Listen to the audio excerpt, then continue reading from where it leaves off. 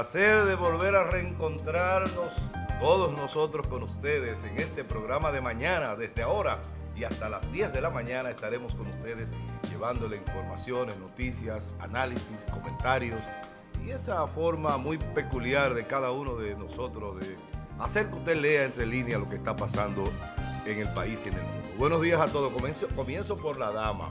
Buenos, días. Buenos días, Amado. Buenos días a todo el público y buenos días al equipo. Fulvio, buenos días. Buenos días, Amado. Buenos días, Carolina, Sócrates, Francis. Gracias a Telenor, aquí estamos para todo el mundo.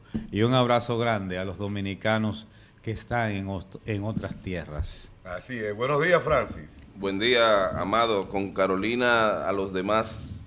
Oye. Espero que te sientas bien. Ya Gracias, Padre, por la luz de este día, que nos ayude a desenvolver en él y que nos dé inteligencia para entender. Bien. Dejo, Ve a vomitar si tú quieres. Señor Jesús, Dejo. eh, buenos días, Sócrates. Yo no sé qué es lo que pasa Buenos en las esquinas, señores, pero yo buenos voy a tratar de, de cambiar todo el esquema. Buenos días. Bien, Estoy en la bien por ti. Buenos Bien por ti. Buenos días. Buenos días. Buenos, Buenos días, Sócrates. ¿Cómo Buenos estás? días para todos. Bueno, señores, la pregunta del día. ¿Cree usted que en un gobierno de Luis Abinader se sometería la justicia a los corruptos? ¿A cuál corrupto? Ah, no hay. Te me pareciste a Danilo Medina. No hay Yo Sócrates. no sabía que habían corruptos. No, no, yo pregunto, yo pregunto. Bueno, Bueno. Franklin Almeida un día lo dividió. Ah, sí, es verdad. Ahora hay que esperar que él di- siga dividiendo. A ver cuál es la división ahora.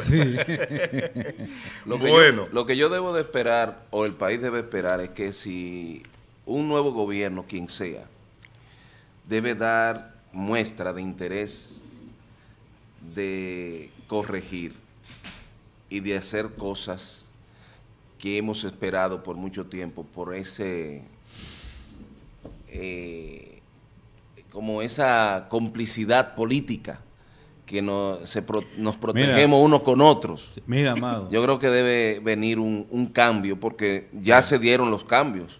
A partir del 6 de octubre, la vida política cambió.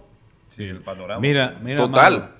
Y- Es decir, que ya a partir de ahí, que cada quien reordene su- sus mundos políticos acorde con lo que la sociedad ha esperado por años. sí, sí. O damos el paso o nos quedamos en lo mismo. Mira, Francis, amado, estamos obligados, cualquier gobierno que venga, está obligado a afrontar de manera vertical el asunto de la corrupción y la impunidad desde el Estado. Obligado. Entonces, como primera partida en nuestro programa de gobierno del PRM, Luis Abinader, está la designación de un procurador fiscal independiente. Procurador general, me un procurador general, un procurador general independiente de ataduras políticas. Que sea difícil encontrarlo, puede ser. Pero aquí también hay muchas gentes muy honestas Yo te voy a sugerir y muy uno. serias. Yo te voy a sugerir Negro Vera. Eh, Santiago. exactamente. Es un hombre que hasta ahora ha sido un hombre vertical. Claro, Sí, se claro. supone que se buscarán los mecanismos para Claro. la persona que vaya a ser Claro, elegida. claro. Yo te voy a sí. sugerir ¿En uno? Juárez Castillo. También, también. Y así también las Yo lo altas los cortes. dos. ¿Eh? Rechazo los dos. Bueno, por eso es la plu- Porque lo, lo- lo pluralidad. rechaza- ¿Por qué rechazarías a Negro? Por un problema de edad y por un problema de adoctrinamiento. Yo pienso que la Procuraduría General de la República no tiene que ir un- una persona con aspirante de guillotinero. La Procuraduría General de la República es un lugar donde tienen que conservarse y respetarse derechos de perseguidos y de acusados. Y no puede ir un vergador. ¿No te gustaría Félix Damián Olivares? No, ¿Por qué? Por la vinculación que tiene con ese Con la medio, política. y sí, con Sí. muchas personas Cristóbal abogados Rodríguez, por sector, Lo otro es, que Amado, ah, eh, eh, Cristóbal tiene Rodríguez. menos que sé yo que pudiera ser tú sabes pero Lo- las razones yo te las puedo de- definir de cada uno porque yo pienso que tú sabes bien ¿Y a quién que- tú sugerirías que se que puede hacer tenga mucho que se puede hacer mucho daño de Sí, esa se posición puede hacer Si mucho tú daño, vas con, con, con, un- con una guillotina lo que va Claro. a generar Eh, sí. una, una ingobernabilidad a tu gobierno Lo- ¿No te Lo- gustaría Guillermo ahí. entonces por lo mismo, verdad? Guillermo pudiera ser. Guillermo Moreno. Yo no tengo Sí. ninguna, ninguna objeción con Guillermo Moreno. Pudiera ¿Eh? ser. No tengo objeción. con- Lo No, otro no, es no, lo, ¿qué pasa? lo ¿Qué otro fue? es lo otro es Amado y Ya eso son y sentencias Sócrates lo y que van a Francis, vender que ahí. son juristas, que son abogados. Lo otro es la escogencia de las hartas cortes. Ese drama, esa película de Sí, los a- participantes para eh, elegir No, a, a los eh, jueces el de la alta Consejo. Nacional de la Magistratura Eso tiene, que tiene- venir una reforma tiene que, que haber que una adecue, reforma. que adecue, desde abajo hasta porque hasta ahí arriba. sí es que estamos mal. ¿Para qué? Para que la justicia tiene que ser independiente. Entonces, la base del desarrollo de una nación está en el Estado de Derecho. Entonces, si tenemos comités políticos de, de partido, pues nunca vamos a tener eh, esa, esa independencia que se necesita para que la nación pueda tener bases sólidas para desarrollarse. Bueno, el clima. Está calentando la pista de De acuerdo a la Oficina Nacional de Meteorología, la onda tropical que estaba incidiendo en nuestro territorio se aleja, pero interactúa una vaguada en la porción norte que se desprende del frente del sistema frontal que está en el Atlántico Norte y esto trae como consecuencia que van a continuar algunas chubascos y lluvias en estas regiones del noroeste, noreste, este del país, cordillera central. No obstante, la mayoría de nuestra geografía nacional estará con cielo parcialmente nublado y con una temperatura agradable en la noche. Ya la temperatura empieza a ponerse a tono con lo que es eh, este- estos meses cercanos a la Navidad. Bien, qué bueno. Vamos a sentir el frío, ¿verdad? En Pero estos ¿cuál días. frito? Pues estaba calentísimo esta mañana y Pero anoche estaba Yo insoportable. llegué aquí me estaba aprendiendo si no Pero sentía el aire. insoportable. Dime qué fue lo que pasó Ya a anoche, era partir de hoy, como- ya a partir de hoy empieza a sentirse más fresco. Ah, sí, claro. Sí. No, pues ya. A partir de No, a hoy. partir de hoy, claro. O si no ¿Y de mañana. A partir de esta noche. A, par- a partir de esta noche. Porque O en la el madrugada de sistema- mañana. El sistema frontal que está frente al país, los vientos están ya arrastrando ese Lo- airecito. la- los sistemas frontales siempre están en el frente, ¿verdad? Sócrates. de la parte Pero- norte. Eh, eh, No. Sócrates. Pero- en el norte está el frente.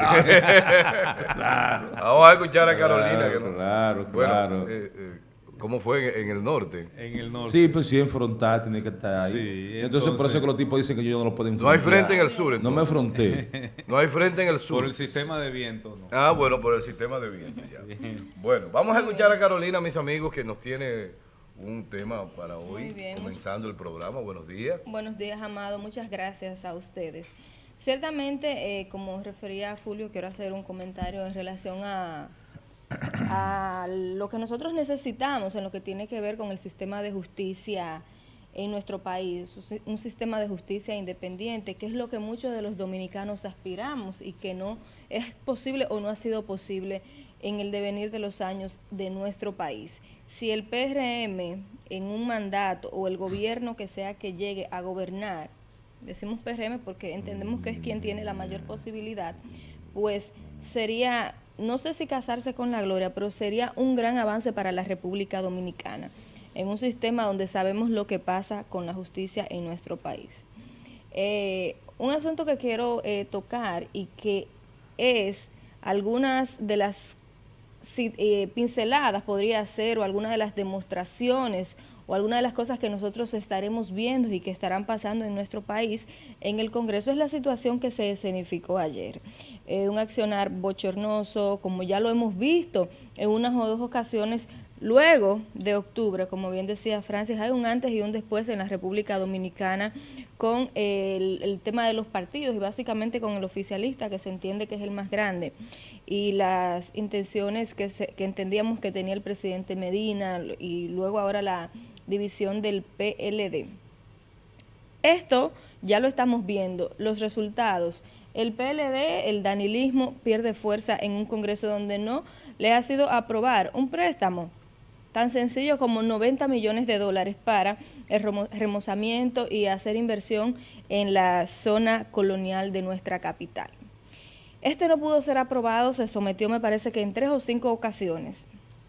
Pero no solo es el tema de que fuera aprobado o no, sino que hace que estos proyectos eh, ahora en adelante sean aprobados por eh, unanimidad, si se quiere, como antes sí sucedía. Vimos las disputas, eh, los eh, llamamientos entre unos y otros diputados de los diferentes bandos, donde se irrespetaban y de hasta descarada le llamaban a una diputada y hacían señalamientos como eh, en relación a Francisco Domínguez, eh, a, Domin- a Francisco Javier, el ministro de Turismo, donde el otro bando entiende que este señor, al igual que nosotros sabemos, utilizaron desde los ministerios eh, no los recursos directamente, vamos a decir, para hacerlo en campaña, pero sino esa facilidad que se tiene desde una institución para tú hacer inversión en momentos determinados como son las elecciones. Y hacía estas declaraciones. Eh, entonces nosotros nos preguntamos, ok, él dice y acusa de que do- eh, Francisco Javier en momentos electorales de la primaria hizo esto, al igual que nosotros sabemos que otros ministros eh, lo hicieron en, tema, en tiempos de primaria y acusaba a esta señora, le llamaba a una diputada Danilita, a Isabel, le llamaba eh, descarada y que se ha beneficiado de todo esto, pero lo hacen a manera de la confrontación. Nagua, creo. La No. Isabela de Nagua. que- ah, bueno, no, esa está en el Tribunal Constitucional, ok. Mira, o sea, lo, lo que preocupa de esto y lo que siempre nos llama la atención es que lo hacen a, un- a manera de dimes y diretes, no porque ciertamente les haya preocupado esta acción incorrecta de estos congresistas o de estos ministros. Y decir, tenemos el vídeo ahí sin audio de más o menos lo que pasó ayer para que la gente conecte con lo que decimos. Y nosotros decimos, ellos Ese fue el que trayó la lacto. Sí, no, porque le quitaron la palabra porque estaba siendo irrespetuoso con la señora. Él fue interrumpido por ella y, y así fue Él más ya o menos. fue a su propia curul. Sí, se le acercó ¿Qué también. quiere decir ser irrespetuoso? Cuando eh, la llamó, voy a citar, lo tengo acá, lo que él le- se refería. Él le decía a ella, vamos a decir. ¿Porque es mujer o porque...? No, no, porque es mujer, no, nada ¿Y que ver, qué, nunca. Él la acusaba, estaba haciendo una acusación, dice, le dice descarada, tú sí fuiste la que te hiciste diputada en el Ministerio de Salud Pública, o sea, haciendo una serie de acusaciones. Y eso, según tú, es irrespetuoso. Según yo, no, según el, el presidente de la Cámara de Diputados, que la mandó, que lo mandó a callar que le Estaba esto. diciendo una serie de imputaciones que son irrespetuosas. Se- ¿Dónde está el irrespeto en eso? Escucha, o sea, lo que quiero, Ella deja su casa, ella deja su casa, Ella su no- curul. ella se y No va a la soy yo. curul donde está el otro tipo a increparlo porque le está haciendo una crítica al gobierno. Él le responde como tiene que responderlo porque el problema es que nosotros no perdemos en el concepto de la igualdad de género y queremos Nunca que jamás. cosa se la discusión. Si hubieras Entonces, escuchado- que con que. Si hubieras escuchado, como O bien sí, Francis. Ella fue donde él, y él le respondió, ahí no hay ningún irrespeto. Mira, Pero que no eh, es Carolina que lo dice, fue y lo que además decía en el ningún presidente de la momento Cámara. y en ningún momento No. Francis se entendió porque estaba prestando atención me Porque yo parece. no estaba prestando atención. No, Muy mi bien, amor, buen porque no, no, no, argumento. porque en ningún momento me he referido al tema de Muy género.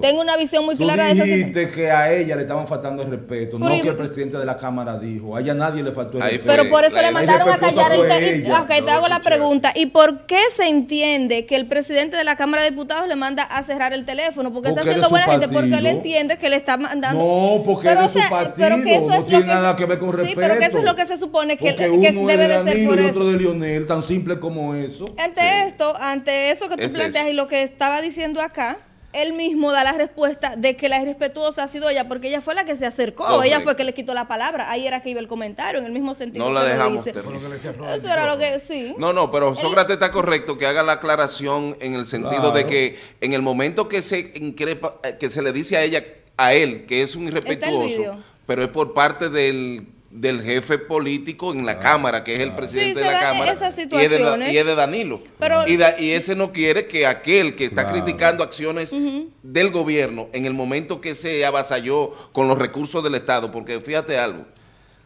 de que no se diga directamente, se utilizaron los Claro. ministros para que hicieran la labor política. Lo sabemos, claro Y que punto. sí.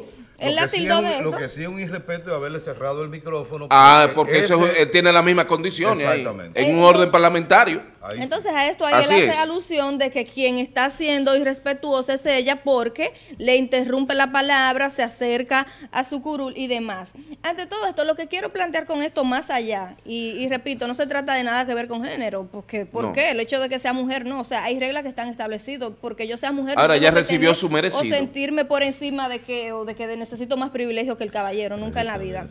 En Sócrates. Entonces, entonces, eh, o sea, lo preocupante de todo esto no solo el escenario que se plantea de bochorno, si vemos, si vemos, este señor hace acusaciones a la señora, a la Isabel. diputada Isabel.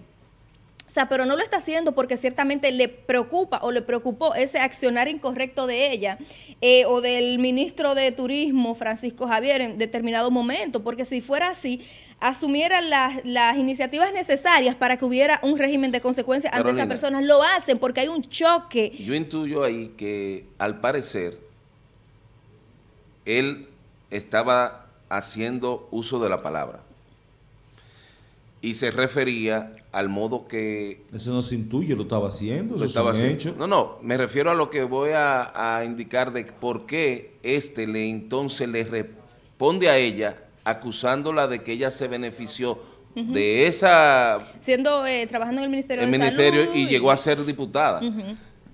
Es decir, que no es que él está haciendo adrede una acusación, sino que ella al atacarlo, ir donde él, ir a interrumpir, porque no quería escuchar que en el Estado se utilizó recursos para avasallar en las primarias, él parece que también arremete contra ella y le saca los trapitos al sol. Yo creo que tiene alto un tanto de sentido lo que él estaba hablando y al sacarlo de lo que era su tema principal y ella meterse, él también entonces le saca los trapitos al sol a ella. Pero Eso es lo que yo ante todo esto, sí, más allá del show que se armó, lo que me gustaría pues que nosotros podamos Es eh, decir, que no resaltar tenía acá. el, el carácter verdaderamente de corrección de parte de él con respecto al Estado.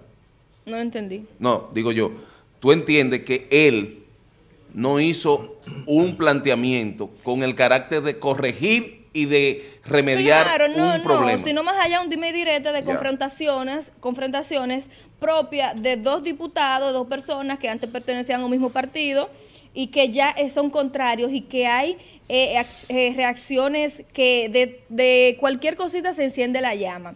Ahora bien, si esto es para la aprobación de 90 millones de dólares, imagínese usted lo que Eso va a va a pasar. pasar muchas veces, Sí, va a pasar. pasó, Ahí, ahí eh, es que digo, me ayer, refiero. Ayer. ayer. Sí. Y va a continuar pasando. Imagínense ustedes para el presupuesto del año que viene y, No. pa- y, y para todas las demás. Pero ¿y qué es lo que tiene de Eso malo? va a ser un pleito. O sea, Bueno, que lo único va a malo que tiene es- dificultar. No, Sí, no ese se- es un ejercicio democrático y pero que es saludable. Lo Ellos único malo es que los procesos se retrasan por esas discusiones, a veces bizarras, a veces bizantinas, sabes- que no llegan a ningún camino, Sí. que no tienen ningún resultado positivo. Pero yo prefiero que se recha que se retrasen ¿Eh? a Yo lo que, que lo lleven en tren como no han llevado No, hasta no, ahora y sin rendir. Yo lo que entiendo es que si la discusión trae información válida, ok, pero aquí se discute demasiado disparate. Está bien, pero yo, te pregunto, ¿quién va a determinar qué es lo que se está discutiendo válido y quién no? El presidente de la Cámara de Diputados. Cuando el presidente de la Cámara de Diputados determine que lo que se está discutiendo no tiene contenido, va y te apaga el micrófono. Eso no es democracia. Hay un- pero pero hay claro un- ustedes están acostumbrados a ver cómo se celebra una sesión del presidente del gobierno español con los congresistas y se dicen de todo, se hablan de todo y cuando tienen que pelear, pelean. Nosotros estamos acostumbrados a escandalizarnos por cualquier discusión que se ama y mientras esté la discusión estamos dentro de la democracia, la de nosotros al estilo dominicano. Eso es algo que hay que estimularlo, eso es algo que tiene que pasar que se creen los conflictos dentro del Congreso, en el Senado, y que un, y que un presidente no venga y somete un proyecto de ley y lo hombre, pasen hasta sin leerlo, como ha pasado. No es peor que pase un proyecto es- de ley sin leerlo, que se pongan a discutir. Yo creo que estamos bien. podría ser Yo estoy de acuerdo en eso, porque No, pero estamos mira, viendo... oye, ¿tú- Ajá. ¿tú sabes dónde podría ser válido? En el escenario que tiene Sócrates en Eso, su o sea, mente. eh, yo quiero que- pero en el escenario que Real, o sea, que los con a la, con estulticia que campea por su fuero en esa Cámara de Diputados. ¿Qué carajo de Pero mira, te voy a decir una cosa. que- En la parte de la Cámara pequeñas que se dan en los municipios, yo tuve bastante discusión y la gente lo vio en YouTube, están de las discusiones y enfrentamientos. ¿Pero qué pasó? Que ¿Qué no pasaron. tuvieron? No, ¿Qué resultado tuvieron? se frenaron aprobaciones Como se hizo ahora. que no debían de, de pasar, como se hizo en el Congreso. ¿Cómo Que yo pasó creo que, que es importante que la gente empiece a ver la importancia de mediar y de tener un, congre- un Congreso, no con un poder absoluto como lo han tenido No, hasta, claro. hasta el 6 de, hasta No, el 6 de pero octubre, Correcto. sino que Correcto. ahora empiezan a tener ejercicio legislativo y a tener el carácter de fiscalización del y hay que Estado. consensuar la Que ahí hay que consensuar. Sí, pero o sea, Eso como es lo tú de lo planteas y como lo plantea Sócrates es excelente. Ahora, la sabemos que la realidad no es esa. Pero, que- ¿y cuál es la pero- realidad entonces, ajá, Carolina? Por ahí voy. Sabemos, sabemos y qué bueno que el resultado final sea que no, que no sean las aprobaciones eh, desmedidas, Mecánicas. vamos a decir, mecánicas, porque se mandó y tenemos mayoría y aprobamos. Ahora bien. Ahora bien, bueno, qué bien que ese es el resultado final, pero tú sabes, tú sabes y los amigos televidentes saben que cada uno de esos diputados, esos choques y esas confronta- confrontaciones en el fondo no es mínimamente porque no les interese, eh, les interese que se aprueben 90 millones de dólares para remozar la Pero zona eso es un colonial. criterio moral que tú tienes y la No, moral está es que divorciada es de la política. ¿Y en qué la te dicen los legisladores dominicanos? ¿Qué te dicen? ¿Cuál es el accionar de ellos? Ese un concepto muy particular de como tú lo ves. Y a través de mirarlo de ese concepto particular, tú has tres veces reducido la percepción que yo tengo de la realidad. Según tú, yo no sé ver la De realidad. ellos, de ellos, No, no, de según la tú, realidad de ellos, de- según de los tú, Yo no sé ver la legisladores. realidad, la realidad más la saben tú, tú y Amado. O sea, esos son Francis Sócrates porque no saben lo que pasa en la realidad. Lo que pasa en la realidad es que hemos tenido un congreso de, las- de Claro. los últimos 14 años, a partir de 2004 Sí. para acá. 2000, dirigido por un solo 2008, partido, 2006. Como lo tuvimos desde el año 2002 a 2004 con Hipólito Mejía, que tuvo un congreso para el solo. Desde el Y que 2002. Tenemos que acostumbrarnos a tener un congreso como lo manda la separación del poder y la filosofía política, donde tengan que ir a discutirse y consensuarse los temas que le interesen al país. Porque le interesan a los diputados. No. Claro. En el fondo podemos interesarle, pero eso no es el tema esencial. El tema esencial es que exista el escenario para que se discuta. Porque esa es la función que ellos reciben de la constitución y el mandato que reciben de sus electores. Sócrates, ¿cuántos hijos tú tienes? Perdón, per- per- per- perdona la pregunta. Hijos. Pero dime. Sabido. Dos hijas yo tengo. Dos hijas. Sabido dos. Yo me imagino que nunca diste una pela. Porque No, con solo nunca. llamarlo él me intimida. Nunca, nunca, nunca, nunca. ¿Tú ves? Eso no está- yo soy un hombre, eso no yo soy un está. hombre con percepción. Sí. Vamos a oír un mensaje navideño que nos tiene. Tú terminaste, ¿verdad? Sí, sí. Ok. Eh, vamos a oír un mensaje. Después del mensaje candente de Carolina, ¿verdad? vamos a pasar algo. Vamos a más. suave, más light. Más light. Bien. Este Nicolás. mensaje de, de Nicolás de Nicolás, eh, Nicolás Hidalgo. Hidalgo, la casa de los salones. ¿no? Así que adelante, Nicolás. Vamos a ver. Gracias a la casa de los salones, a Nicolás Hidalgo, por el mensaje navideño bastante interesante, sobre todo en este tiempo, ¿verdad? Que tiempo de fraternidad. de Nicolás amor, Hidalgo, de- Nicolás Valerio. No, no, no, Hidalgo. ¿Cuál es Nicolás Valerio? Nicolás Valerio, no sé, ¿no? Vamos a llamar a la Junta a ver qué nos dice. Nicolás Valerio. Ya se están ustedes haciendo Señores. lo tonto, ¿está bien? Bueno, señores, seguimos. Hay ahora noticias deportivas. Aquí en medio de muchas realidades. Sí. Don Tony, ahí está Tony García con nosotros. Francis, Buenos días. Buen día, buen día. Dio bueno. resultado el movimiento ayer De, de suavizar el asunto ahí en ese extremo. eh, sí, en parte, pero eh, eh, se exacerbaron luego. Con, Ah, bueno. pero va bien, va no sé bien. va- bien. El proceso va bien. Carolina, Yo no sé cuál es el miedo que ustedes le tienen a discutir. Día, buen día, Tony. Fulvio, Yo no le tengo Buenos ningún. días, hermano. estuviste a punto de ver unos hitters ayer, pero no se pudo, lamentablemente. Wow, dos outs. No, Perdimos anoche. A ley Sí, de un siempre, strike. Oh. siempre. Como siempre. Bueno, ah, como el en los últimos tres partidos. que- como siempre que perdemos. El domingo perdimos. Como siempre que perdemos. Oye, estuvo buena esa. Señores, eh, hablando de deportes acá en De Mañana, eh, hay que decir que Gigantes del Cibao en el día de hoy, pues, es- eh, estarían estrenando un nuevo refuerzo, el outfielder cubano Adolis García. Este jugador pertenece al conjunto ya en Sí. Sí, sí, se, arma un show o sea, ahí. especial de cerveza, a precio súper cómodo hoy. Ah, bueno, pensé que la regalaban. Pues, sí. Y el viernes, eh, frente a las estrellas, a los primeros mil fanáticos del área de graderías, la entrada es totalmente gratis. Ah, por bien. motivo de Cervecería Do- Nacional Dominicana, eh, valga la promoción. Ah, pues hay que decirlo para que la gente vaya el viernes. Y hoy también, por supuesto. Bueno, gracias a Tony García por las informaciones deportivas. Nosotros seguimos con más contenido del programa. Muy bien, vamos a recordarles que a propósito del Viernes Negro, en LIR Comercial usted tiene esta gran oferta. Pero en este momento vamos a la pausa. Cuando regresemos hay más informaciones, más noticias, más comentarios. Esto es de mañana. Buenos días.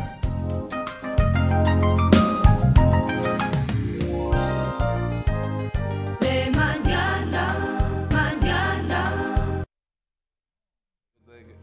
Muy bien, continuamos en su espacio de mañana. Vamos a recordar la pregunta del día y mándenos su opinión al respecto. ¿Cree usted que en un gobierno de Luis Abinader se someterá a la justicia los corruptos?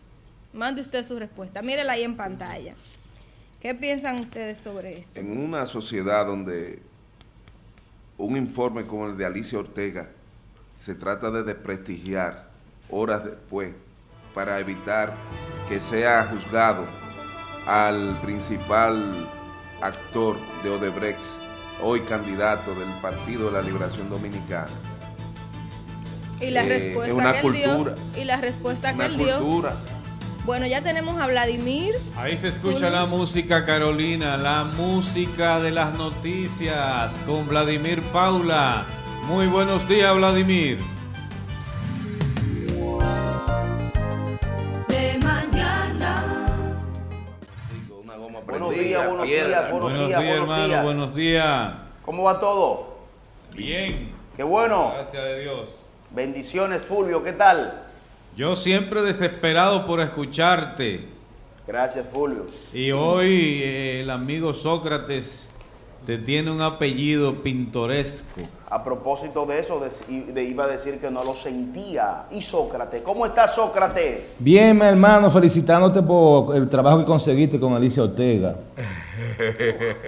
Explícame, dime, ¿cómo así? De que tú fuiste uno de los principales artífices del asunto del informe, que descubriste el- el- el- la, la cosa de los 11 mil millones. Yo trabajo con Telenor, yo soy Telenor. Eso, ¿No en Telenor? No, claro. Y, y lo de la...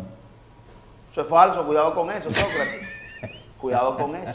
¿Y Francis? Aquí presente, hermano. Dios las Francis, gracias. ¿Qué le pasa a Sócrates conmigo? Dímele, ¿qué pasó ahí? No, él, él configura, como tú eres un hombre acucioso y de investigación también, Exacto. eh, Bien, te socializó bien. con, con Alicia Ortega, que Bueno. aunque el hijo de César Medina hoy Sí, lo vi sí, que sí. daba pena tratando de defender lo indefendible. Ay, Dios mío. Le estaba tirando los mochos a a Ay, Alicia, Dios pero no tienen calidad. Doctor, Mi querido hermano, ¿cómo tú estás? bien, gracias a Dios. Placer de oírte y verte. Gracias, gracias. ¿Y Carolina? Aquí buenos está, días, buenos lado. días, Vladimir. Peleando con todo lo que no sea de color blanco aquí. Vamos inmediatamente, señores. El espacio de la las noticias ¿Cómo de así? mañana es el siguiente. Comenzamos en el ámbito internacional. Bachelet denuncia la brutalidad policial contra las protestas sociales. La alta comisionada de la ONU para los Derechos Humanos, Michelle Bachelet, denunció en Londres la brutalidad policial utilizada en algunos países para reprimir protestas ¿eh? fustigadas por la desigualdad social y llamó a los dirigentes a escuchar las críticas. Adelante. Lo asegura que durante su gestión al frente de obras públicas actuó con transparencia. Adelante. Y yo le doy la total seguridad que todo lo que hice en mi gestión fue apegado a las leyes. Y siempre lo hice pensando en los millones de dominicanos y dominicanas a quienes les mejoré su vida. Yo lo que he visto que esa fue la gestión de Gonzalo Castillo y por eso es candidato una de las gestiones más eficientes que ha pasado por ese ministerio, con menos cuestionamiento. E inclusive es de las pocas veces que un candidato de otro partido alaba esa gestión. realmente eh, de, de todo lo que cualquier denuncia hay que eh, darle seguimiento, investigar la profundidad para ver si realmente tiene sustento eh, y que se compruebe si es verdad o no y en caso de que sea alguna evidencia sustancial, pues entonces se, se pueda eh, lograr un sometimiento al que realmente... Señores, miren, Margarita Cedeño saluda la decisión del Tribunal Superior Electoral que habilita como candidato a su esposo, Leonel Fernández. Adelante. Bueno, en realidad todo lo que fortalezca eh, la democracia en República Dominicana y dé estabilidad al sistema de partidos políticos en el país, pues por supuesto que vamos a estar muy contestes, muy de acuerdo. Así es que eh, saludamos esa eh, medida y las decisiones de los tribunales son para cumplirla. Los jueces habrán eh, tomado muy en cuenta para los fines de interpretación, pues las diferentes interpretaciones que usamos los abogados para interpretar las leyes. Sin embargo, los abogados del PLD dicen que es el Tribunal Constitucional que debe decidir.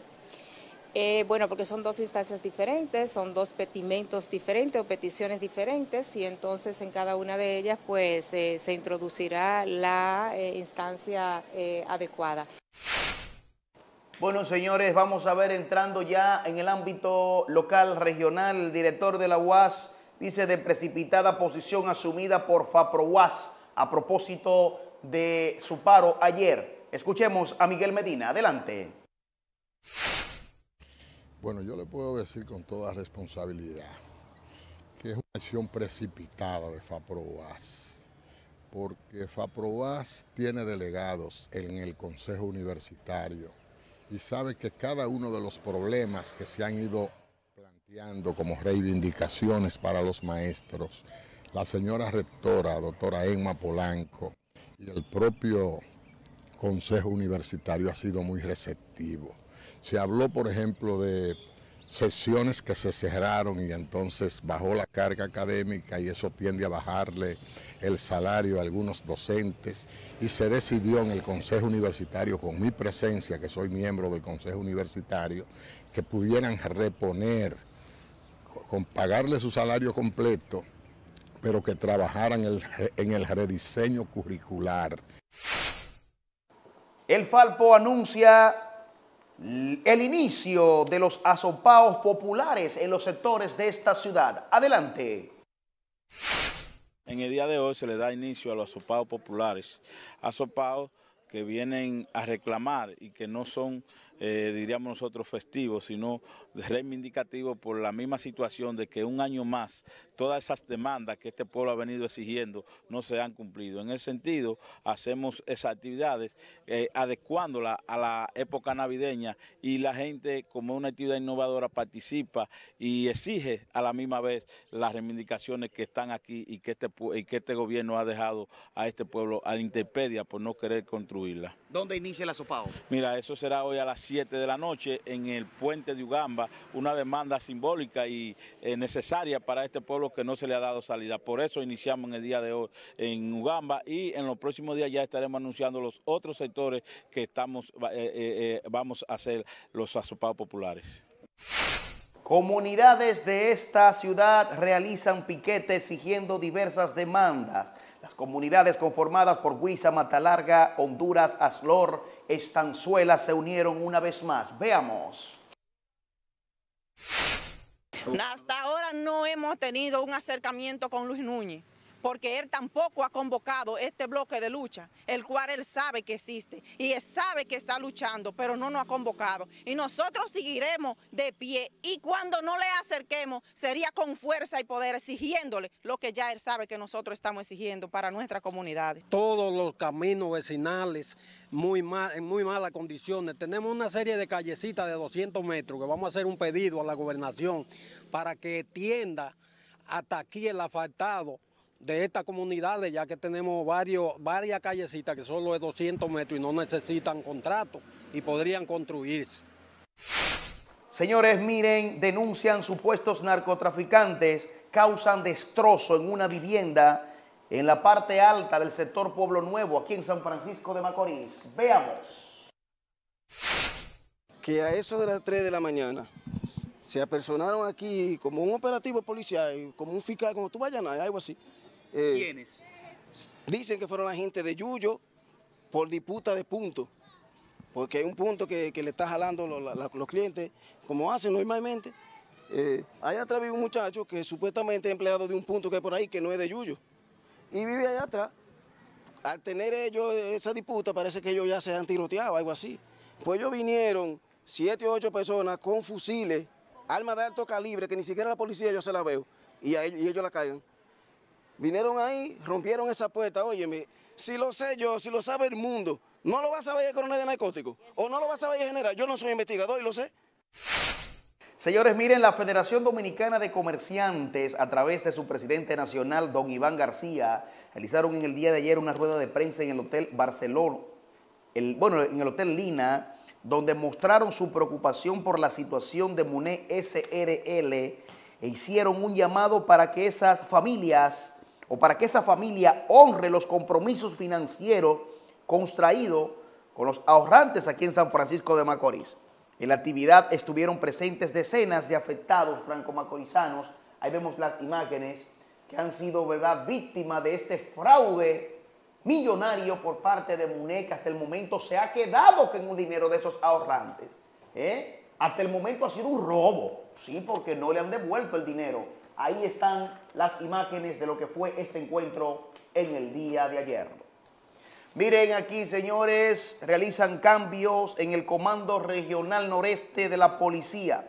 La policía dispuso cambios en la dirección del Comando Regional Noreste con asiento en esta ciudad, designando al general Eduardo Alberto Ten como nuevo comandante de la plaza. Alberto Ten es nativo de la comunidad de Génimo. El mismo tomó posesión la tarde de ayer. Ahí está. Vamos a escuchar declaraciones tanto de él como del general saliente Horizon Olivense Minaya. Adelante. Y con pocas palabras yo puedo decirle todo lo que se va a hacer aquí. Voy a trabajar sin descanso. Voy a trabajar junto al pueblo, junto a los campos, junto a las comunidades, junto a mi policía. Primero digo, barreré mi casa antes de salir a barrer la ajena. Eh, dejo tanto amigo y tanto cariño. Al señor subdirector que vino a hacer el relevo de mi hermano Alberto Ten, a a la autoridad del señor gobernador, a don Luis, está recién inaugurado en la posición también, al senador, a Milka Romero, a la diputada eh, doña Milady Núñez, a las autoridades todas, al alcalde, a la magistrada procuradora fiscal también, a toda la autoridad de amigos, compañeros, eh, deportistas, amigos de la prensa, todo el pueblo de la, que es la región noreste. Para mí fue un gran placer permanecer aquí por segunda vez. Señores, ahí está. Así que enhorabuena, llegue general y que inmediatamente a trabajar, a combatir por las delincuencias y por los hechos delictivos en toda la región del Nordeste. El agua número uno en consumo de todos los nordestanos es agua Randy Lime. 100% purificada con sistema Osmosis, tan dominicana como tú. Llámenos al teléfono que aparece en pantalla para servicio a domicilio. Porque no es lo mismo un botellón de agua, es que uno de agua Randy Lime, que es la número uno. Qué bueno. Señores, no hay tiempo para más. Antes de irme, yo quiero, ¿verdad? Porque pasó ayer por desapercibido el Día Internacional del Hombre. Ayer fue nuestro día, doctor Amado, y no se dijo nada de esto. Sí. Porque hay un Día Internacional Va- del va- Hombre. Ayer se Está- celebró. Está haciendo firma. Ah, ok, ahora sí. Doctor, ¿Tú sabes qué es lo que ¿usted pasa? me escucha, doctor? Sí, sí. Ayer, ayer celebramos el Día Internacional del Hombre. ¿Tú sabes qué es lo- dijo nada. ¿Tú sabes qué es lo quién que se pasa, inventó Vladimir? ¿Eh? ¿Tú sabes qué es lo que pasa, Vladimir? Sí. Que quedan pocos, quedamos pocos hombres. ¡Me voy! Nos vemos mañana, adiós. Bueno, gracias a Vladimir Paula por las informaciones, por esas noticias. Bueno, y dentro de las noticias hay una que le da, que, que- que tiene que ver directamente con San Francisco San y el nordeste. pues. Es el cambio que se produjo ayer Sí, en la de tarde del general Caramba. Orinson Olivense Minaya y sustituido por Alberto Ten. Este Alberto general... Ten es la- nuestro, de San Exacto, Francisco. este general es franco-macorizano. Decirle Probablemente de esos ten de ahí de la San Sí, Francisco sí. con Emilio Prudón. Ahí mismo. Tiene un cierto Ahí parecido. mismo. ¿verdad? Decirle a Olivense que esta es su segunda patria, Claro. San Francisco de Macorís. A Olivense donde vaya. Que venga cada vez que quiera. Éxitos. Y que siga su carrera policial Ascendente. como lo ascendente. Sí, señor. Porque de- ha demostrado ser un un ejecutivo real de, de- de la policía. Lo felicitamos. Y a TEN, nuestro primo, que tenga... Ah, tuve que ponerme adelante. Usted necesita un médico, un policía Y un abogado. abogado. Sí. El abogado ya tú y- eres. Y, y ya yo soy abogado. Llegué aquí a Macorís.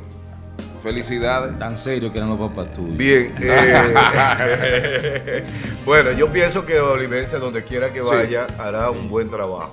Porque en definitiva es su don de gente, su condición de, de policía, su, su criterio sobre la policía y el trabajo policial, ese acercamiento con la sociedad. Que pienso que este general, a quien no conozco en sus ejecutorias, eh, aunque sí sé que estuvo en Él, Santiago. él- él dijo una frase muy buena. Voy a iniciar barriendo mi casa. Adentro primero. Qué bueno. Vamos Qué a ver. Sócrates, bueno, les auguramos éxito y también a palabra. Así que bienvenido, general Alberto Ten, a San Francisco de Macorís.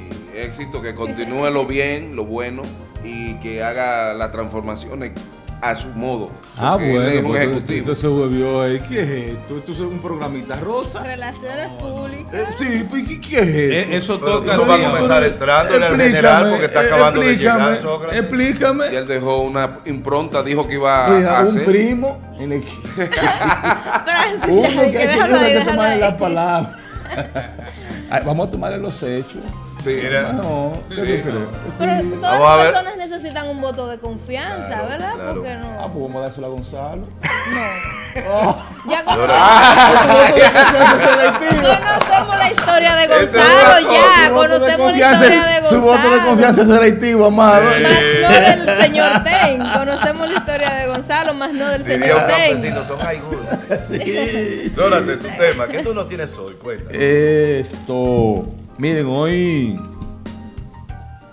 se celebra por estas latitudes eh, eh,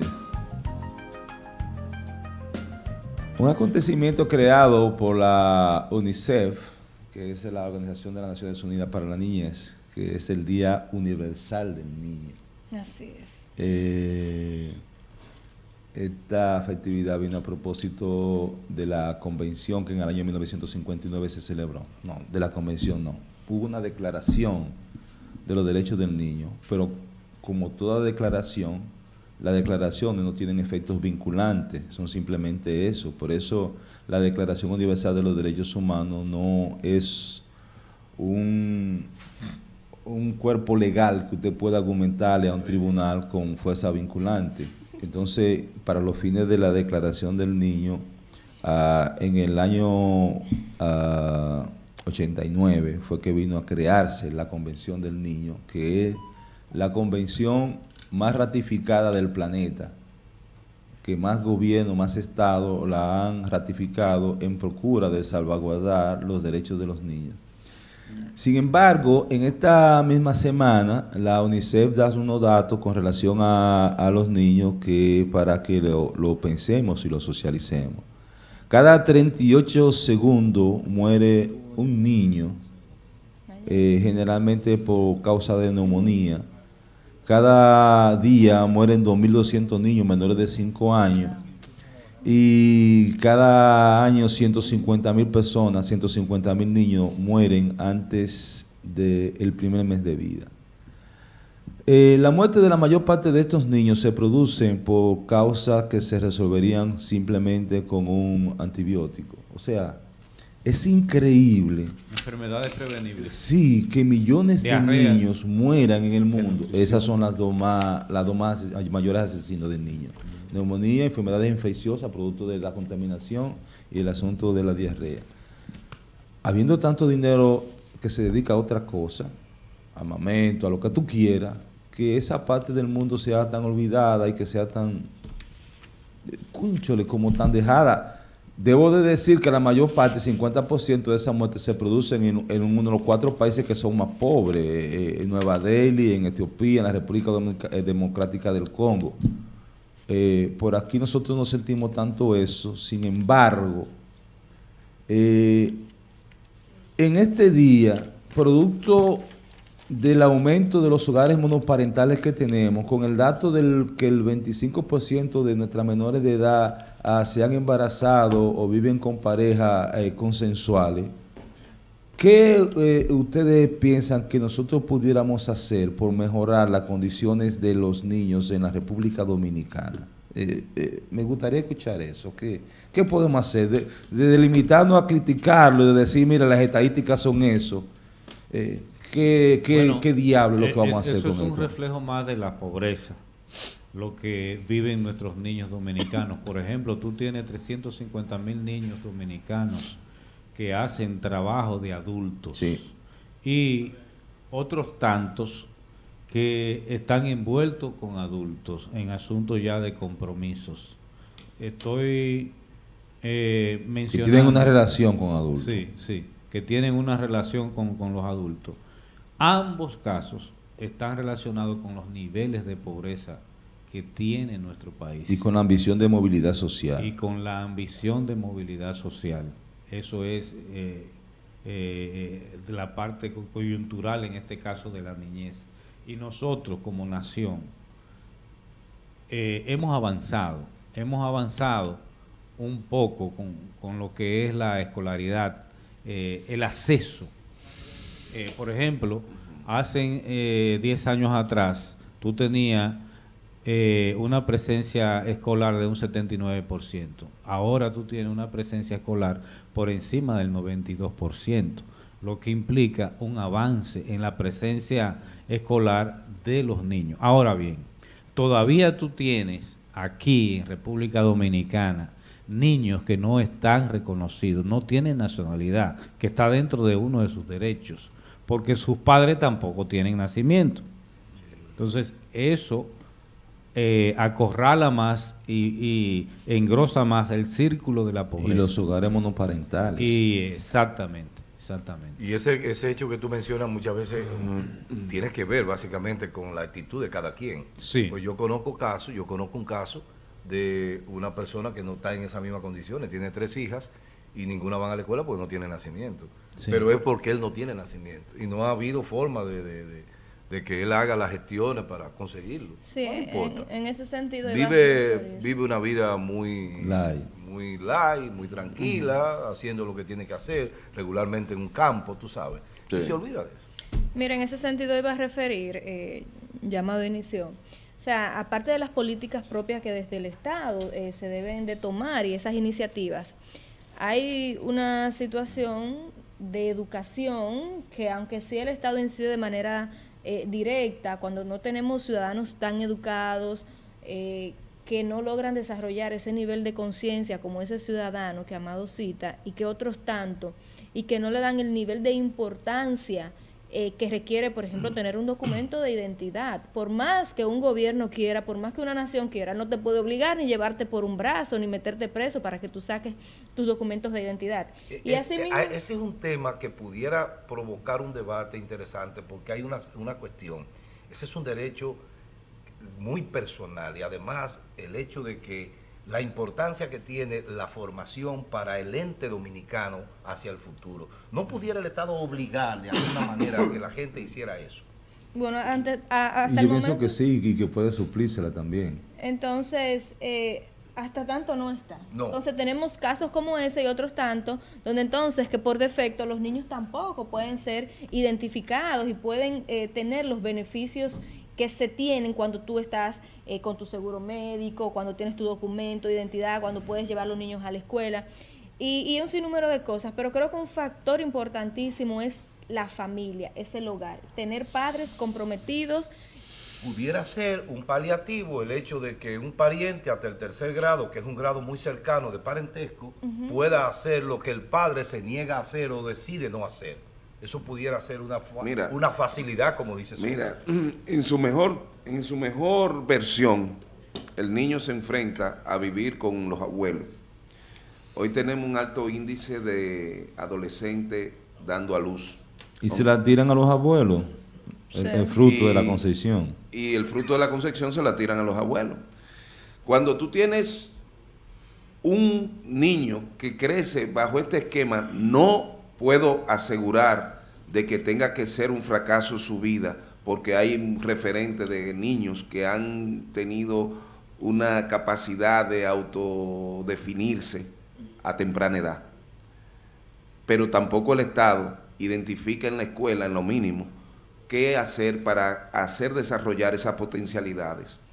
Y cuando hablamos de la oportunidad en la sociedad dominicana y las desigualdades sociales, vemos que todavía hay un alto porcentaje de, de- de desigualdad, de, de falta de empleo, de, de oportunidad. Pero ligado todo ese escenario a lo que se enfrenta el adolescente a tener relación a temprana edad, automáticamente cruza la línea de extrema pobre- pobreza cuando procrea sin la preparación, sin el respaldo. Hace 50 años se estableció y hoy se vuelve a ratificar que la suerte de los jóvenes en América Latina está íntimamente ligada al grado de apoyo que tiene de sus padres. No, hombre, tú te estás yendo muy lejos. Yo tengo un amigo, eh, bueno, ya no vive en Rabo Chivo, pero vivía en Rabo Chivo, que decía, que decía, el problema de los muchachos, tú lo mantienes un año, al año tú lo enseñas a velar. Dime, Fulvio. Mira, nosotros como un territorio compartido con, otro, con otra nación que es Haití, también se da el caso con la niñez de la violación de sus derechos porque son niños que tal vez lo traen los padres, otro, otras veces nacen aquí el mismo año que llegan, no tienen nacimiento y se ven segregados. Sí. Y ahí también se le violan sus derechos. Sí. De ese 13% de niños que realiza un trabajo cualquiera en República Dominicana, el 16% no va a la escuela. No va a la escuela, claro. Entonces aumenta el círculo de vicioso la pobreza. de la pobreza. Claro. Y nosotros tenemos el problema intrínseco de nuestra nación con nuestros niños, más los niños que nos traen y los que nacen aquí de padres que están ilegales. Además, nosotros tenemos en República Dominicana una situación a la que se ha invisibilizado. Nosotros cada año ah, damos cuenta de la cantidad de feminicidios que se cometen en el país. Pero ¿qué sucede con esos niños? Wow. Con los hijos de la 358 feminicida. niños van ya. ¿Quién le da ¿Oíste? seguimiento a eso? ¿Qué hace el Estado con eso? 358 van ya. Wow. Consecuencia ese, de es esos un- feminicidios. ese, ese dato ahí es, es alarmante y cruel para la vida, de- si, no, si el Estado no se ocupa verdaderamente de darle asistencia psicológica, apoyo y que la familia se integre también, porque a la familia hay que adecuarlo a saber tratar a estos jóvenes, estos niños, que serán los hombres del mañana. Pero entonces súmale Violencia. A, súmale a eso eh, el 25% de las jovencitas que ya dieron a luz. Wow.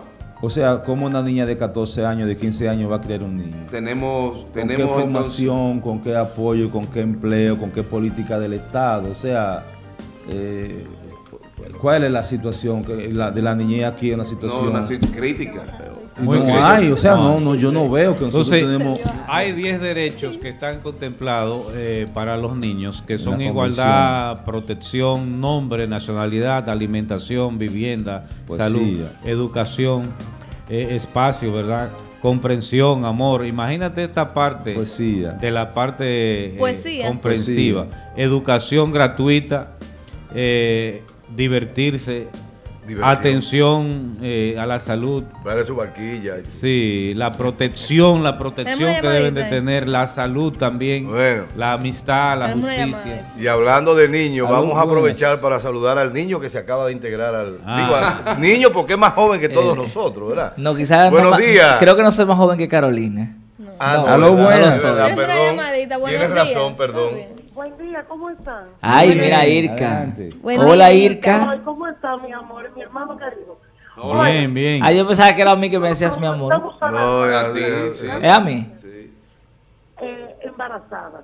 Pero fue que de la ¿Está escuela embarazada Irka? Fue que dijo. sacaron. Yo oí algo así. Sí. Irka, clara, que no oyó. ¿Qué- ¿Quién es que está embarazada, Irka? Pero es que si ustedes no me oyen. Yo bajo la televisión,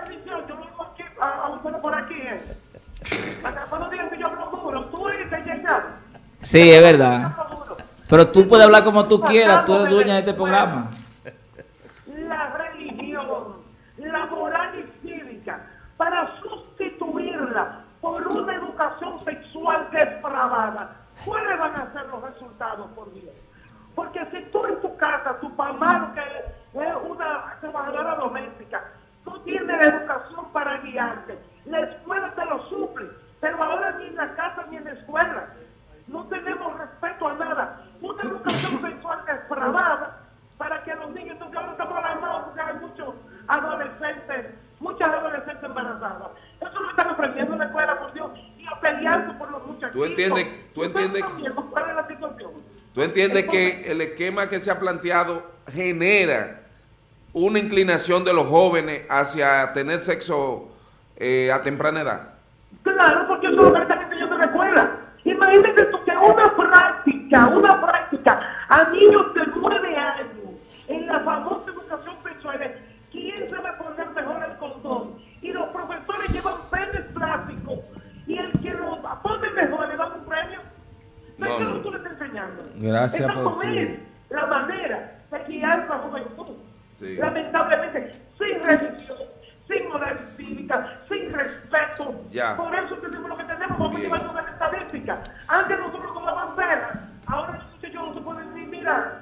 Yo no Bueno. puedo mostrar- Gracias por tu a llamada. Gracias, por tu llamada. Gracias, Irka. Vamos Eh, a ver el WhatsApp, mis amigos, ¿qué tiene? ¿Qué tenemos? Vamos a ver. ¿Cuántos amigos han dado el feedback? Tenemos tabla Ahora sí es nueva. fácil. Ahora sí. Tenemos el 1378 Como que quiera, nos bueno que lo escribe- acerque. El A 1378 que nos manda Y esta como quiera postal. que sea, discúlpeme, como Sí. estábamos en mi, en mi, en, en mi turno. Eh, no pienso que el asunto ocurra como lo plantea Irka. Eh, yo tampoco. El asunto de lo que está pasando en República Dominicana tiene muchísimas implicaciones y lecturas. Claro, eso, eso no tiene nada que ver con escuela. Incluso. Y no es la escuela solo, hay muchos elementos que inciden. La televisión, el nuestros internet. abuelos, nuestros abuelos Sí, se son- embarazaban a temprana edad y tenían 15, 16 hijos, Sí. pero cuando eso aparecían hombres que lo mantenían. Sí, era Eh, más- había más años, 16 responsabilidad. hermanos, que yo qué. Ahora el concepto es básicamente, como lo mencionó Fulvio, de sectores marginados, empobrecidos, que a veces utilizan a estas niñas como una forma de conseguir riqueza, como una forma de movilidad social, la utilizan Y como de una mercancía. de seguridad claro que sí. alimenticia en otro Entonces, un hogar monoparental que solamente dependa de una niña, a veces los niños los mandan a pedir para las calles. Está la situación que planteamos de lo, de lo que se quedan huérfanos y está la situación de lo que planteamos de personas que no tienen la suficiente preparación para educar a un niño. O sea, nosotros vivimos en un momento en que la capacidad que puede tener un, una familia, dos padres, para educar a un hijo, no compite con el bombardeo que ellos son sometidos a través de las redes sociales. No, eso es de la imposible, sociedad. no- no Entonces, Pero además, es muchísimo más complicado. Yo creo que lo del embarazo a la adolescencia es precisamente falta de educación sexual, que a ninguno nos la Más- claro, Bueno. más falta que otra Ninguno de nosotros. Vamos a volver al WhatsApp. Pero no tenemos entonces esos casos. De, Bueno, de- pero nosotros so- quizá hay, hay gente que son excepción. Hay muchos factores, eh, es un tema bien con muchas aristas y bien profundo. Vamos Acércalo, a ver. Israel. El Este 1378 nos manda esta postal de los buenos días, muchas gracias. Continuamos con el 7978 que nos dice, buenos Apagaste, días. apagaste. Se necesita una justicia independiente de la política para que termine la falta de coherencia, corrupción e impunidad. Muchas gracias. Yolanda de Pisacostura, buenos días Yolanda, linda mañana para usted también. Nos escribe Junior Almanzar, buenos días a todos. Aprovecho esta ocasión para denunciar un horno de hacer carbón vegetal. ¿Cómo? Están ¿Dónde está eso, depredando, están depredando los alrededores del río Guzmán. Fulvio, por favor, intervenir. La humareda por las noches ha provocado problemas de respiración Fulvio. a los comunitarios Humancito. de los jardines primera etapa. medioambiental. Los jardines, primera Junior, etapa. primer, eh, Junior Alma- eh, Almanza. Inmediatamente enviamos ahí los inspectores. Eh, Pero ya, eso ya. Sí, eso Y ya. Belice Pantaleón, buenos días. Francis cambió de sitio. Sí, lo cambiamos. La gente no se le Y escapa Belice. Un abrazo y Belice. Vamos a ver esta Miren, imagen. vamos a ver la foto de arriba. Eso lo envié yo. Esa es mi hija Alondra Epifanía José, Eh, supe que está de que cumpleaños. está de cumpleaños Ah, hoy. felicidades Alondra, para ella. que- Y la música, la música, la música. ¿Cuál le gusta a ella? ¿La de los viejos o la de los jóvenes? No, no, Que ella es tiene que músico, ser la de ya. los... Ella es músico. Ah, pues le tú va a pones gustar la otra, que- la otra. Sí, sí. Pero le pusieron la de los jóvenes. Esa es. Felicidades a Londra, que cumpla muchos años más. Así es. ¿Cuántos Que Dios años? le dé mucha vida y salud. ¿Cuántos años? ¿No parece una niña? Mire, De ese 16. es el mejor quebradero de cabeza que me ha dado la vida. ¿Verdad? La que hace el programa contigo. Sí, No, esa es la, la mayor, es la que hace el programa conmigo. Ah, Muy bien, muchas felicidades para ella. Ella es la que no le gusta la televisión. Esta sí. Tenemos lo otro es una invitación que nos hace el periódico El Jaya con motivo del 34 aniversario en el día de hoy a las seis y media eh, de la tarde, una misa en celebración de estos 34 años. Muy bien. Gracias al caballo. ¿No van a hacer una fiesta? No sé. No, No, pero una Adriano, misa, sí es una Adri- misa. Adriano una fiesta. Vamos. Que le cantan tanto bailar. Pero Continuamos con el va a ser 1484 una que vaina, dice, No sean así. buen día, mira lo que hacen los empleados del síndico en la Toribio Camilo. El trabajo a, me- a medias, pasan y se llevan la mitad de la basura después que duran 15 días sin pasar. Sí, pero eso no, No. se sabe si lo pusieron después. Hay que ser. Eh, Ese, ese, ese galón que está tirado, eso fue que ya lo, lo pasaron por ahí. Sí. sacaron después. Eh, Las bolsas eh, que están Y la bolsa la sacaron después. No vamos a dudar de lo que ella escribe, pero hay una. Sería bueno que mande Es bueno más que- información. No, pero le hay que Eh, hacerle el favor de recogerle la basura. Lo que pasa es que esa basura se- no es basura orgánica ni de la casa, eso es del patio. Ah, pues entonces no se la va a Hay que llevar. eh, o sea, bu- pues, eh, no hay que explicarle a la cuando gente ellos ven que es basura de patio, es decir, que son ramas, ramas. ramas y cosas, no se la No llevan. se la llevan. Pero hay que pedirle, por favor, que le hagan el favor. Pero no es basura. como Pero que hay que ver, hay que Sí, ver. yo entendía Eh, que sí, pero la Hay, compañía clasi- hay una tiene... clasificación. Hay una clasificación. Incluso la de la clínica. Y ojalá que, ojalá que Móvil que Soluciones una- pudiera enviarnos acá un técnico para que hablemos sobre eso, sobre la clasificación de la basura, para que el pueblo entienda. De hecho, le Ah, corresponde esa a, a. Móvil Soluciones que... Todo lo que es de que origen de hogar, señora. Oigan de esto. toda la- todos los residuos sólidos, todos los residuos sólidos que es de origen de hogar, de alimentos, eso, la compañía Móvil Soluciones debe de trasladarlo al vertedero. Y- Ahora bien, Sí. Lo, plásticos y lo que es ramas, hojarascas, gramas de patios y, y tantas cosas y palos, ya eso pertenece la responsabilidad de usted como dueño de ese eh, espacio donde usted vive. Bueno, pero que el ayuntamiento Plásticos. pudiera también o la, y la compañía llegar a cierto acuerdo Ah, en el pero cual tú espérate. aumente la cuota Tú has por ese el- viaje tú has dado y Es que pague. tú has recuerda dado que en el el camión punto. compactador no es todo que se puede No, introducir. estamos de acuerdo. Porque si tú introduces Mira. un También tú escombro de construcción, también escombro de construcción. Eso no un va. Yo estaría dispuesto a pagarle al ayuntamiento para que me lleve esos escombros y no pagar Pero tendría que ser con, otro vehículo. tiene que ser con otro tipo de camión. Porque el camión compactador, imagínate tú con un pedazo de block o algo. Tú- O de madera. Sí, o de madera. No, pues eso lo Vamos. recogen cara sucia en, en un minuto. Es una tontería. Pero Sí, pero no Los escombros de construcción aquí Pero son estamos sucia. diciendo esto y no sabemos si ciertamente qué tipo de desechos ella tenía ahí. Eh, O sea, en base a la es bueno denuncia que, que aquí tenemos un alto ejecutivo que, que se comunique con la gente de Móvil Soluciones y que le manden un Vamos a continuar con el 6682. Dice, Dios les bendiga, buenos días. Y nos manda este mensaje, lo voy a leer porque dice ella, así son ustedes para mí.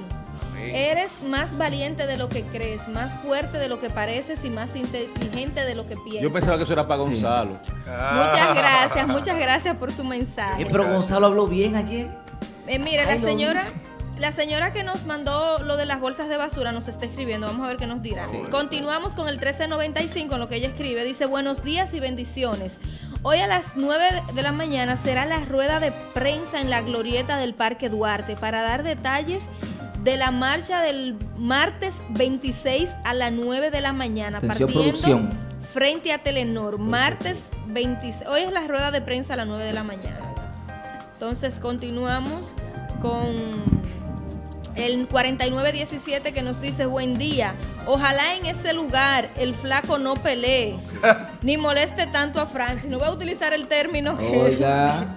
que él dijo. Que no. Eh, eh, ahora que esto se pone bueno, quédese ahí para que usted vea. Que, que tu misión Eh, en mi este- misión es aquí, vida eh, eh, es molestar a Francia. Eh, eh, no tanto así, no. y en controversia. Con mi amigo y hermano Francis, que lo quiero mucho. Continuamos con Cira de las Vive equivocado, sí. Vive siempre Eh, equivocado. Con la señora Cira de las Guaranas nos manda este mensaje de la oración. Buenos días, gracias a usted también. Señores, déjenos mandar la pausa. Eh, también continuamos con el 7672 que nos dice desde Estados Unidos me- me- el número. Dice, buen día, eh, ese general tampoco va a hacer nada.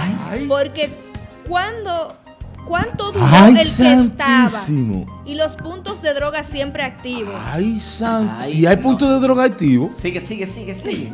sigue. Ok, pares mira. Acuérdense que hay un departamento que se llama DNCD, que es el que lucha contra eso. Tenemos el Ah, mensaje de la ahí. señora de la Toribio Camilo que nos dice, Son hojas secas, entonces la las quemaré, pues creo que será No, peor. no, no, porque no, no, sé no, dónde la pero. No llame- se puede quemar porque al quemar el- la combustión Claro, genera una- gases tóxicos Mira, y daña el ambiente. Estamos gestionando para que le resuelvan el problema, que vayan un y le manden. con una camioneta No, no, tira por ahí. es que yo voy a decirle algo. Eso Dominicana sí. Limpia en el ayuntamiento tiene unos motos, unos motos, unas motos, o- y ahora tiene un camión Sí. que creo que puede hacer esos servicios, porque realmente el ayuntamiento no se desprende de la responsabilidad total que Eso tiene es ornato, de ¿verdad? ornato, y limpieza. Correcto. al- al, al hay- encargado del Mira, departamento de eso yo lo he visto bien. Es un apoyo que, que el alcalde Sí, ha, sí. ha- ha Pero- dispuesto para, para hacer el trabajo pequeño, las cosas pequeñas. Hay a un grupo de chismosos que hay en el ayuntamiento que solamente llaman al alcalde para decirle lo malo que decimos aquí. Que llamen para- mira que como estamos para que- reconociendo.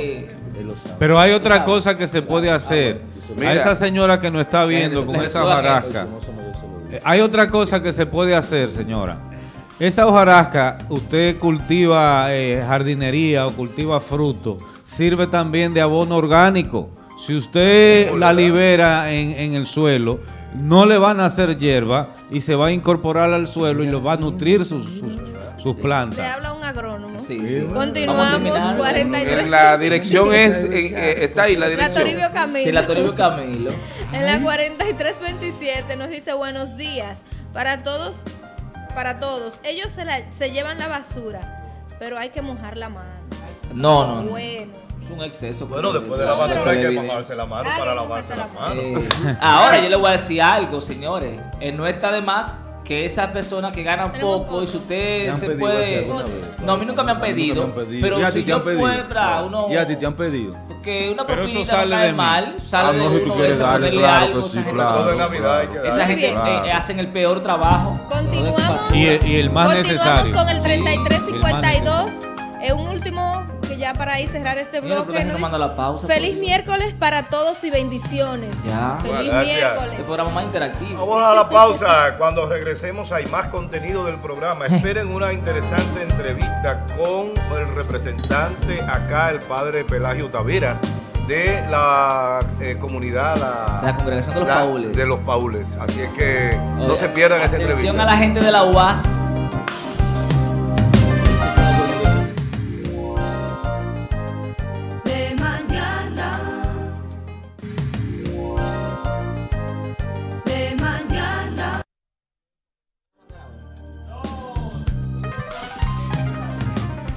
Bien, continuamos en su espacio de Es la mañana. mejor conductora. Tenemos una entrevista muy importante. Hemos estado tocando hace unos días la situación del Curne viejo como le conocemos y todo lo que tiene que ver con la legitimidad de a quién pertenece o el uso del mismo, de que ha sido prestado y demás. Estamos con el sacerdote Pelagio Taveras y estaremos hablando de la devolución del local que alberga que alberga el Curne eh, viejo como le conocemos. Buenos días, sacerdote. Buenos Padre, ¿cómo días? Pelagio. Buenos días a Nuestro todos guía ustedes y, y, a conductor este espiritual de. Maús, hombre. Ah, muy bien. Buenos días. ¿Cuál es la situación que tienen ustedes con el CURNE? Bien, la situación es la siguiente. El terreno del Curne eh, fue adquirido, eh, lo que es el Curne Viejo le llaman, adquirido por la Congregación de los Padres Paules, a la que yo pertenezco, en los años eh, 50, eh, a final de la década de los 50. Los Padres Paules llegaron aquí en el 1955 y en el 1957 se creó la parroquia Santa Rosa de Lima. Y los padres Paules somos misioneros y con, como la tarea de la iglesia incluye la evangelización y la evangelización tiene muchas aristas. Eh, la educación es un punto fuerte de la iglesia desde que surgió. Incluso las universidades fueron originadas por la iglesia católica en el siglo XII, a final de, eh, en el siglo, final del siglo XI. Y incluso la Universidad Autónoma de Santo Domingo fue creada en el seno de la iglesia eh, por los padres dominicos en 1538. Y también eh, en esa tarea de la educación en, en el mundo entero la iglesia ha trabajado por la educación y de calidad, porque la educación católica es de calidad. Y la muestra es que de, dentro de los estudios que se han hecho con esto de las pruebas nacionales, de cada siete, de cada diez colegios que han salido bien parados en las pruebas nacionales, siete son católicos. Eh, eso habla de la calidad de la educación. Entonces, eh, los padres Paules comenzaron a trabajar la educación y se formó el Colegio San Vicente de Paul, donde funcionó la iglesia antes, ahí en ese local del Curni. Eh, se creó el Colegio San Vicente de Paul, que era de educación secundaria.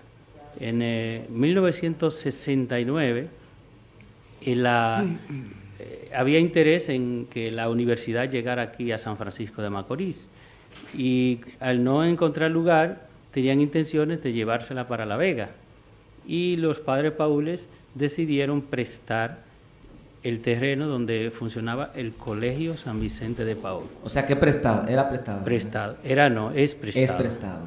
Y ese. En ese afán, pues se le, se le cedió los derechos del colegio a los maestros para que lo instalaran donde está ahora el Colegio San Vicente, para ceder ese espacio donde funcionaba el San Vicente eh, para que la UAS se instalara aquí. Y los padres se quedaron con un colegio de educación primaria que es el Santa Rosa de Lima, que con el tiempo también se ofrece la educación secundaria. Ese acuerdo fue por un año, se firmó un contrato por el superior de los padres Paules, Esteban Santaella, y el rector, director del CURNE en ese tiempo, el, el rector de la UAS, y por un año, renovable. Con el paso del tiempo, vista la necesidad de que la universidad continuara ofreciendo los servicios, esos contratos no se iban renovando, sino que cuando no se hace escrito, la renovación se hace ya una práctica, se renueva automáticamente. Con el correr del tiempo, la, la UAS fue desarrollándose y después lograron eh, obtener el terreno donde está el centro ahora, en la salida a Nagua. Y en el año 1993, después que se construyeron esos edificios, vimos eh, pertinente que ya la UAS tenía terreno suficiente y lugar suficiente para seguir operando y solicitamos los terrenos. Esos terrenos, en el año 93 se le escribió al rector de la UAS, Roberto eh, eh, Rosario. Rosario, que envió dos abogados de la UAS a investigar el caso y Roberto ellos, Santana, Santana. Roberto Santana, Santana, Santana. eh, envió dos abogados de la UAS a estudiar el caso y determinó que, que sí, que ese terreno había que devolverlo y dio la orden de que se devolviera. Eh, ¿Eso fue en qué año? En el año 93. 93 fue la solicitud que se hizo. Después eso le dieron su tiempo y mandaron que se devolviera. Entonces aquí en el director de la UAS no lo devolvió. ¿Alegando Y- qué? En primer lugar, eh, yo había solicitado, cuando yo estuve en los años 90 aquí, en- eh, había solicitado cuando estaba Ángel Paula. Ángel Paula tenía intención de devolverlo y cuando llevó el caso a- al seno de- del Consejo de la UAS, eh, nos hicieron una oferta que era darnos la mitad. Yo le dije que no, que eso era de nosotros, no renunciábamos a la, a la mitad. Padre, una pregunta, escúchame que lo interrumpa. Ustedes tienen los títulos de propiedad de Lo ese tenemos, terreno. lo tenemos. ¿Ese terreno se lo donó el Estado No, señor. ustedes lo compraron? Vamos a aclarar esa parte. El Estado no donó nada y eso fue, se fue comprando poco a poco, porque no era un solo terreno, eran solares que se fueron comprando. y hay incluso varios títulos de los solares. Es decir, no es un terreno que le dieron a la iglesia, no. O sea, Eh, Fueron solares que se fueron comprando. Incluso eh, la familia García Villamán se dio un solar para eh, los fines de la iglesia, porque ahí empezó la parroquia Santa Rosa de Lima, eh, ahí se celebraba la, misa. Y nos cedieron eso para uso de la iglesia y después eh, que se instaló el colegio. Cuando nosotros reclamamos los terrenos, que fuimos a actualizar los títulos, se le devolvió a la familia García Villamán el solar que nos había prestado, que estaba, estaba usándolo O sea, también ustedes sí devolvieron lo que le prestaron. Sí. A ustedes no le han devuelto lo que ustedes prestaron. Exactamente. ¿Y cuál es el inconveniente que hay ahora que no se puede devolver? El Si inconven- ustedes tienen los títulos. El inconveniente que hay es eh, muchas veces intereses contrarios a la iglesia que hay dentro de algunas personas cabeza caliente, incluso gente que se formó en la iglesia, que se hicieron los líder- líderes en la iglesia, que a veces se oponen, que esto, y a veces falta un director de la, del CURNE que diga, sí, eso es de, la, de los padres paules, vamos a devolverlo y ya.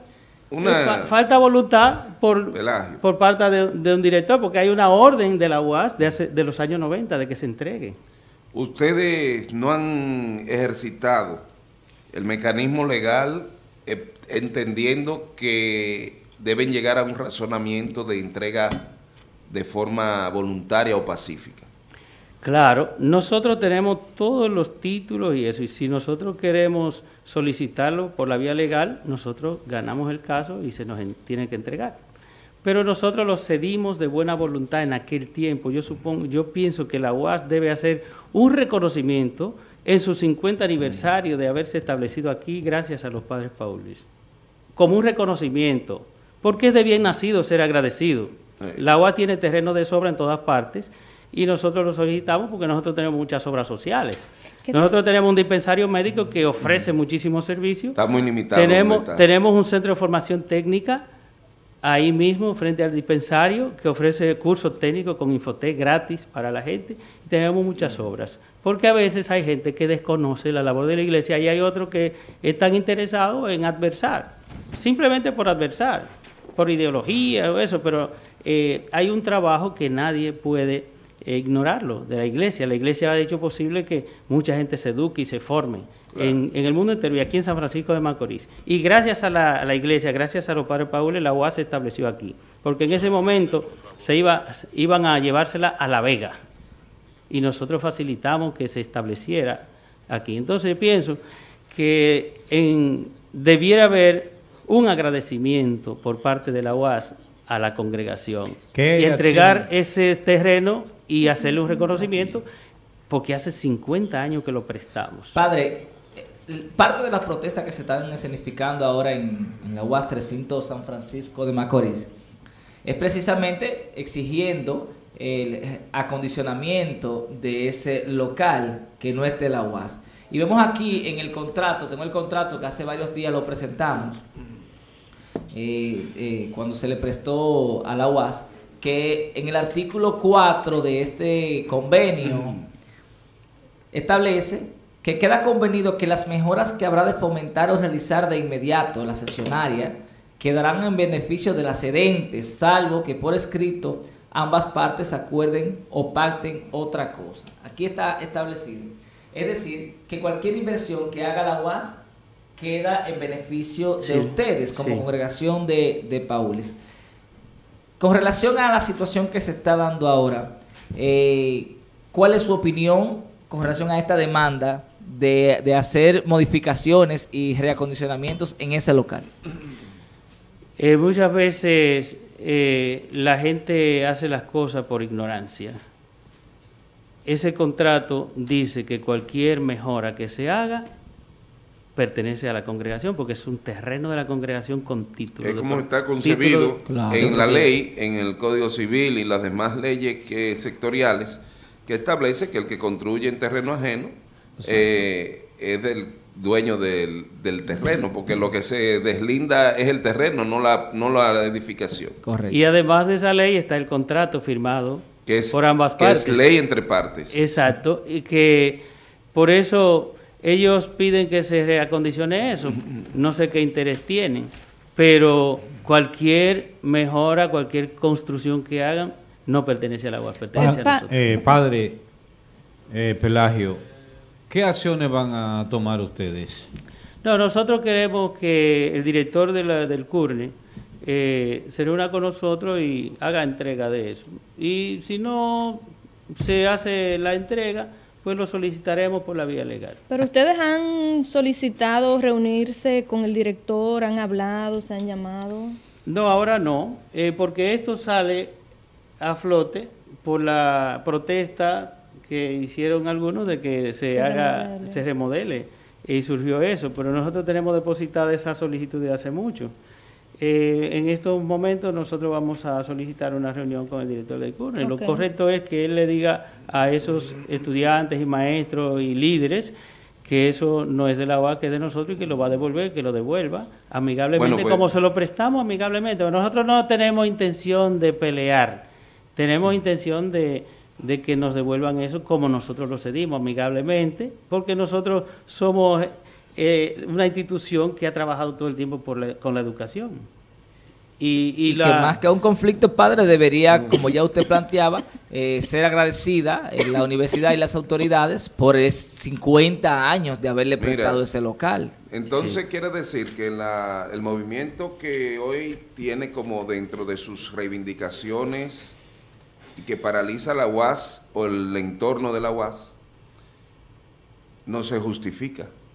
Es decir, que están eh, re- haciendo reclamos sobre bases inexistentes, porque refleja que cuando usted le exige a la autoridad la remodelación de un local que pertenezca a la UAS, está hablando de que esa autoridad, en este caso nuestro amigo y profesor el, eh, Medina, ha faltado a su condición de administrador y de visualizar que se mejoren las condiciones de esas aulas.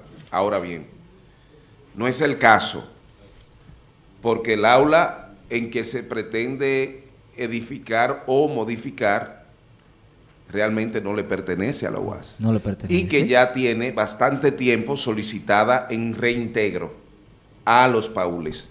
Yo, siendo regidor, recuerdo que tuvimos que, tomar, que tratar el tema de, de esos locales o de ese terreno en el ayuntamiento. Y definitivamente es de los paules. Y fue producto de un acuerdo que hoy cumple 50 años. Dígame algo, ¿me pagaron el micrófono? Sí. ¿No me oí?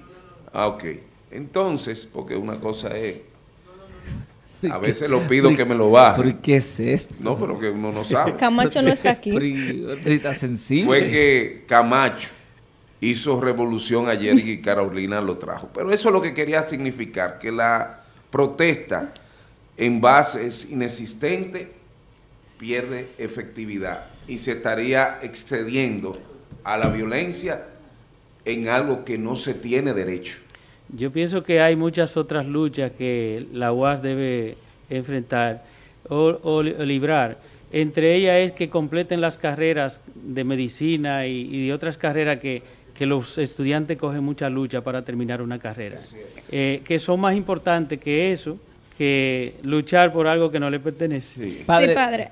Hay que eh, resaltar para que el padre pues tal vez esté en contexto de que esas luchas y esas peticiones de que se remodele el CURNE no es de la dirección de la UAS, sino de un grupo estudiantil que se entiende y la ciudadanía me parece que entiende que debiera de enfocarse en otras cosas de mayor relevancia. Sí, yo pienso, por eso lo digo, porque los estudiantes debieran luchar para que se le completen las carreras que Mm. todavía no están completa el pensum aquí en San Francisco y que a veces tienen que irse a la capital para concluir una carrera y que pasa mucho trabajo, se pasa mucho tiempo para terminar una carrera. Hay carreras que se pasa demasiado tiempo para terminarla eh, y los jóvenes cogiendo lucha.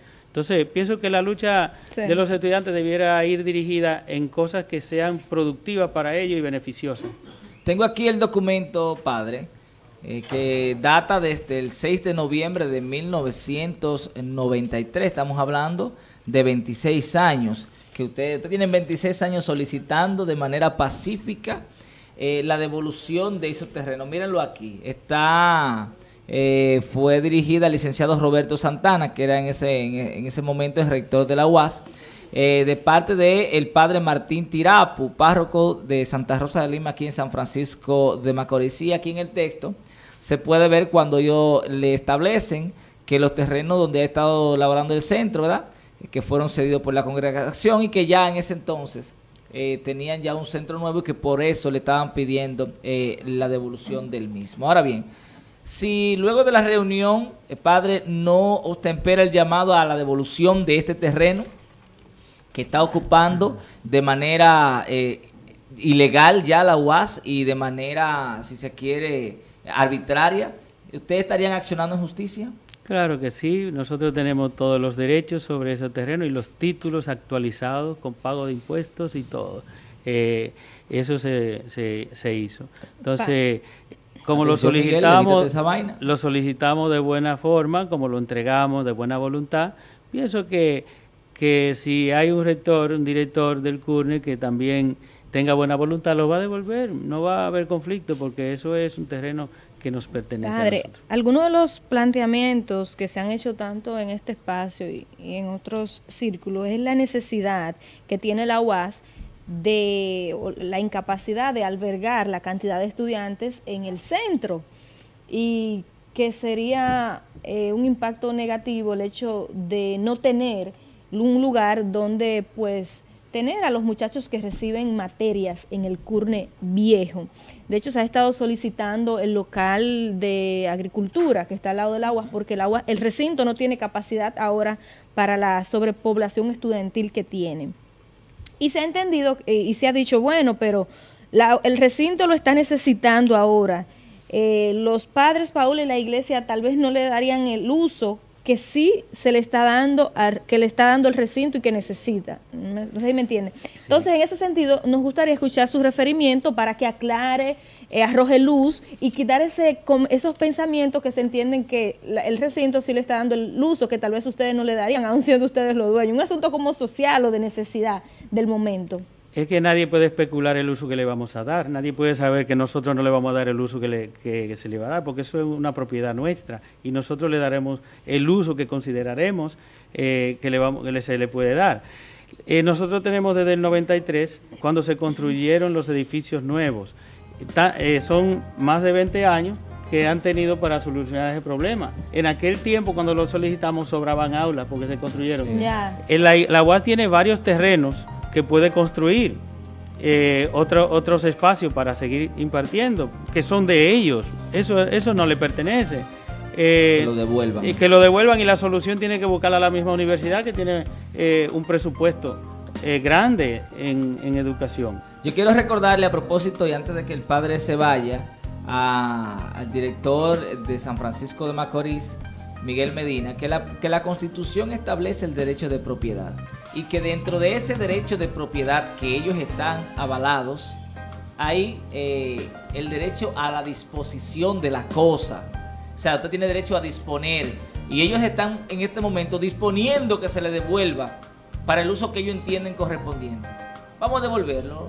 Vamos a devolver ese terreno que no les pertenece, independientemente de que tengamos que exigirle al Estado eh, que nos entregue terrenos en otro lugar. Pero lo que le corresponde a ellos, en buen derecho, vamos a devolverlo, vamos a ser eh, responsables. Bueno. Yo sé que Miguel Medina, que es un hombre serio y un hombre muy responsable, va a ostenperar este llamado y eso se va a resolver. Tienen tener que ir a la 26 justicia. años solicitándolo. Yo entiendo que si no hacen una acción, padre, un poco más contundente, no lo van a lograr.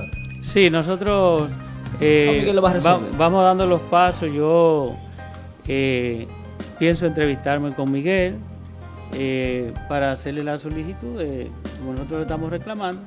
Eh, y si no logramos que se nos devuelva como nosotros lo entregamos de buena fe, entonces tendremos que recurrir a la parte legal. Sí, que, tenemos todos los derechos. Muchísimas gracias al padre Pelagio Taveras eh, por orientarnos y arrojar luz sobre este caso, esta situación que vive eh, la iglesia y los padres paules y el recinto UAS San Francisco con esta extensión del recinto al Curne Viejo. Muchísimas gracias, padre. Gracias y quiero recordarles que ha habido varios directores que, a los que nos hemos acercado. Nos han hecho ofertas que nosotros no hemos aceptado porque la UAS tiene terreno, nos han ofrecido otro terreno en otra parte, a nosotros no nos interesa eh, eso. Y nos han ofrecido comprarlo a un precio que no es el correcto. Y entonces no lo estamos, no estamos interesados en venderlo. Entonces pienso que es un, un hecho que eh, algo- eh, algunos decían en una ocasión que no lo querían devolver porque pensaban que ahí se iba a instalar algo de la, de la Universidad Nordestana. Pero nosotros no tenemos nada que ver con la Universidad Nordestana, los padres Paules. La Universidad Nordestana es de la diócesis de San Francisco. Pero de es un asunto de ustedes. Pero aún eso si, fuera, además- aún si fuera para eso, no ustedes tiene- tienen el derecho a disponer. Claro. Exacto, porque es eso, un terreno, si un terreno eso. nuestro, pero que era alguno de los argumentos que ponían O sea, algunos. eso, eso se da Entonces- porque hay dos instituciones como una, la Universidad Autónoma, o sea, por esos temas que Sí, esa es por pero, eso. pero ellos, ellos no tienen ningún derecho a objetar eso porque es un Sí, terreno sí. que nos pertenece. Muy bien, muchísimas gracias, gracias, padre. padre Vámonos Pelagio. nosotros a recordar la pregunta del día.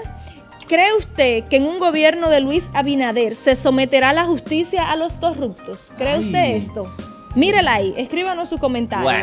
Vamos a una pausa, usted no se despegue porque continuamos con más aquí en su programa de mañana.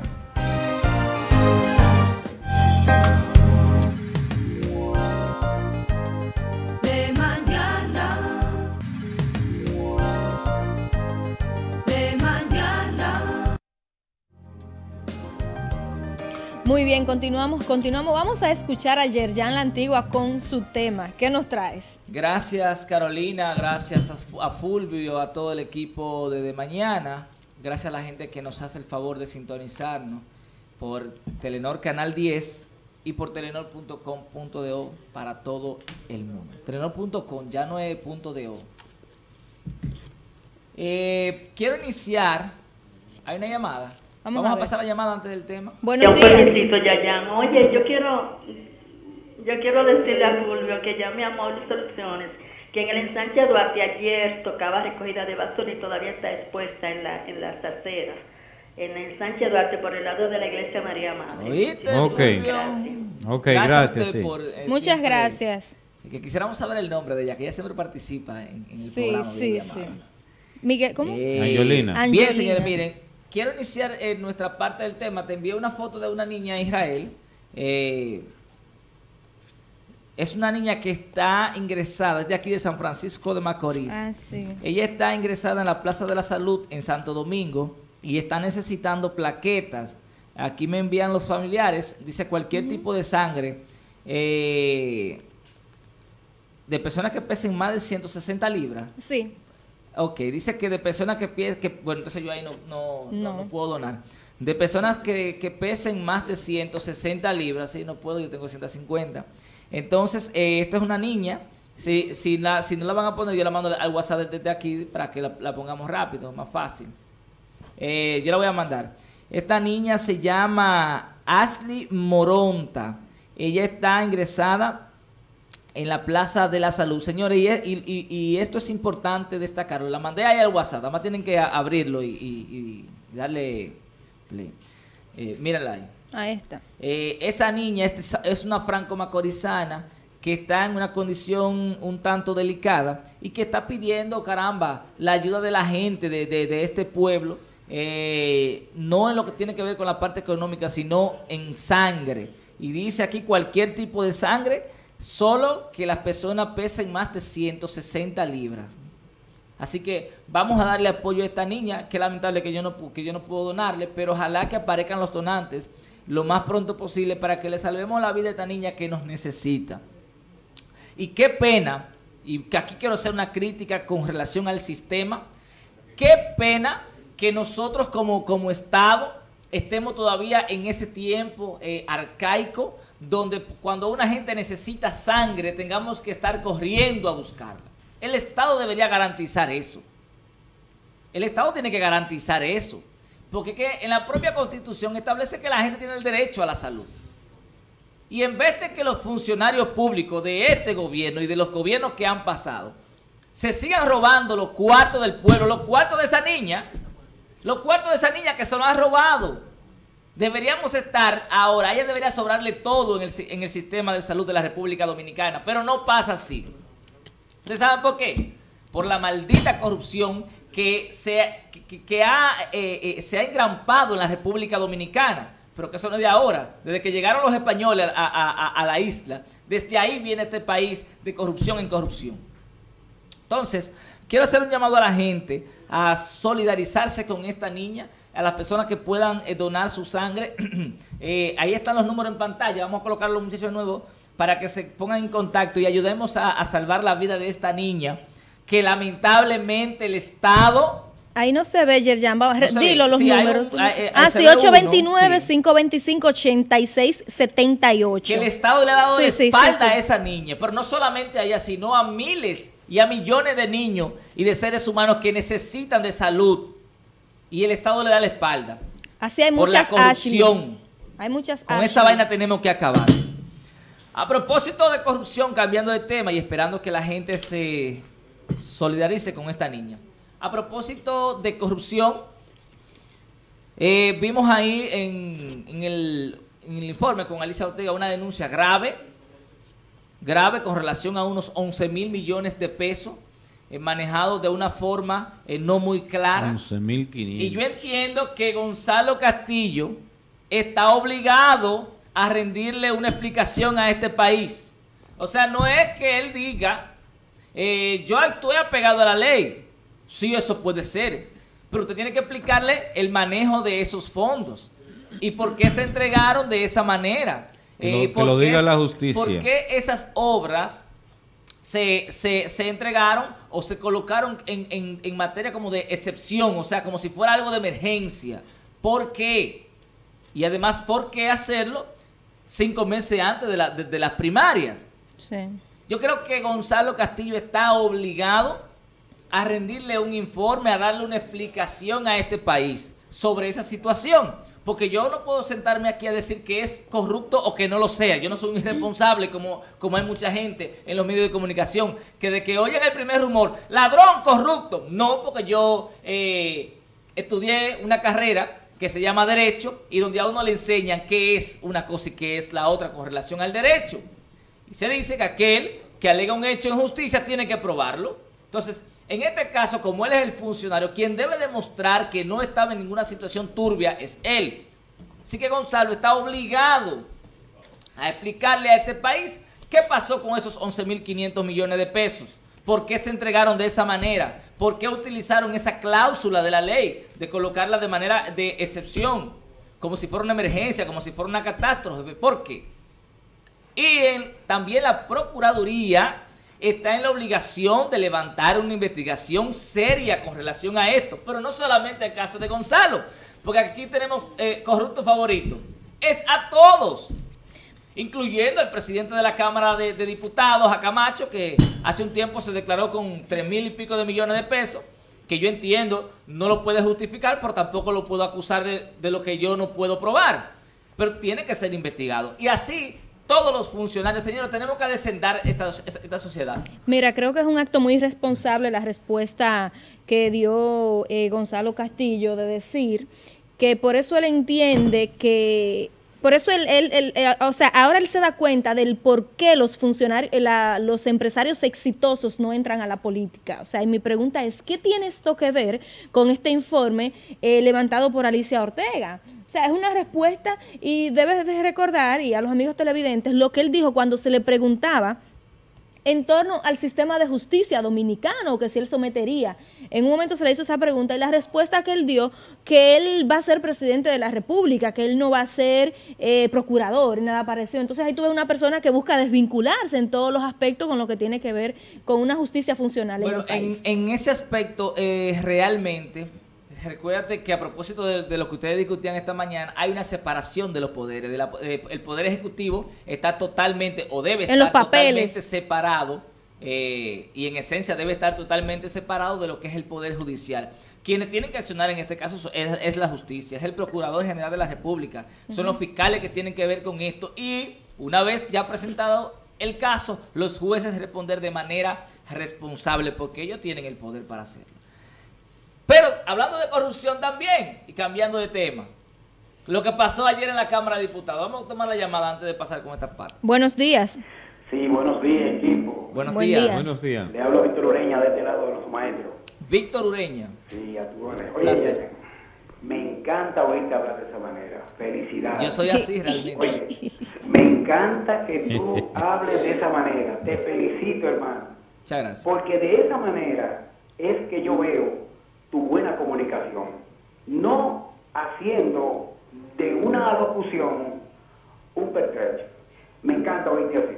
Me encanta. Porque tú estás hablando la verdad. Tú estás hablando con la verdad en la mano. Y así se debe de hacer. Muchas gracias. Muchas gracias. Ahora bien, ahora bien, es que el PLD tiene 20 años, va a cumplir 20 años en el poder, haciendo lo mismo. Entraron todos pobres con una mano adelante y una atrás. Solamente rico de ellos era Eduardo Selman. Tú sabes, Eduardo Selman. Sin embargo, todos eran pobres. Todos trabajaban en la UAS, andaban en la capital en carrito lada. Aquí venían ellos a, a la- en el- al local que se quemó, te lo estoy diciendo ya porque yo vivía cerca, y ahí venían ellos con- los zapaticos volteados. Desbaratado, desbaratado. desbaratado. Entonces, en 20 años que tienen en el poder, han hecho, se han hecho multimillonarios, todos, la mayoría, todos, todo que le huele al comité político, eh, ahí, ahí, ahí, ahí te, te- voy contigo con lo que tú dices, que él tiene que declarar todo correctamente. Claro. Pero, pero no solamente Gonzalo. Todos. Deben de declararlo todos. Todos los funcionarios del gobierno. Por eso me gustaría ver una justicia independiente, una justicia independiente Mira. que no tenga que ver con politiquería, para que pueda juzgar a eso, a eso que, que están haciendo eh, esa, ese, esos robos eh, en el Estado. Muchas gracias y buen día, hermano. Excelente, Muchísimas gracias. Muchísimas gracias, Ureña. Ahí quiero hacer un paréntesis con relación a la justicia independiente. Es que el problema está en el régimen de consecuencias. ¿Usted sabe por qué? Porque el sistema judicial se supone, en materia, por ejemplo, los jueces, se supone, oigan bien, se supone que son independientes. ¿Y cuántos jueces no se han descubierto en corrupción que han vendido sentencias? Pero aquí, se- aquí sometieron jueces a la justicia. O sea, ya, se- eh, ya no olvidamos de los jueces que uno de Samaná y, y- y- y la otra, ¿cómo se llama? Se me, me escapa el nombre, que fueron sometidos a la justicia y hubo un chisme grandísimo entre, entre los jueces, incluso acusaron hasta el presidente de la Suprema Corte de Justicia, que se supone son independientes. Pero el problema está es en la sangre dominicana que se contaminó desde que llegaron aquí los Desde españoles. nuestra formación. vaina. Y lo- la cuestión es el régimen de consecuencias. Por otra parte, hablando de corrupción, ayer un lío que se armó en el, en el Congreso de la República Dominicana. Yo hace unos días decía aquí de lo peligroso que es cuando un Congreso plural en la República Dominicana, un Congreso plural. ¿Sabe por qué yo digo eso? Porque realmente los que van ahí no van a representar los intereses de la sociedad. Eso fuera muy importante si cada uno de los representantes que va a estar ahí fuera a representar los intereses de la sociedad.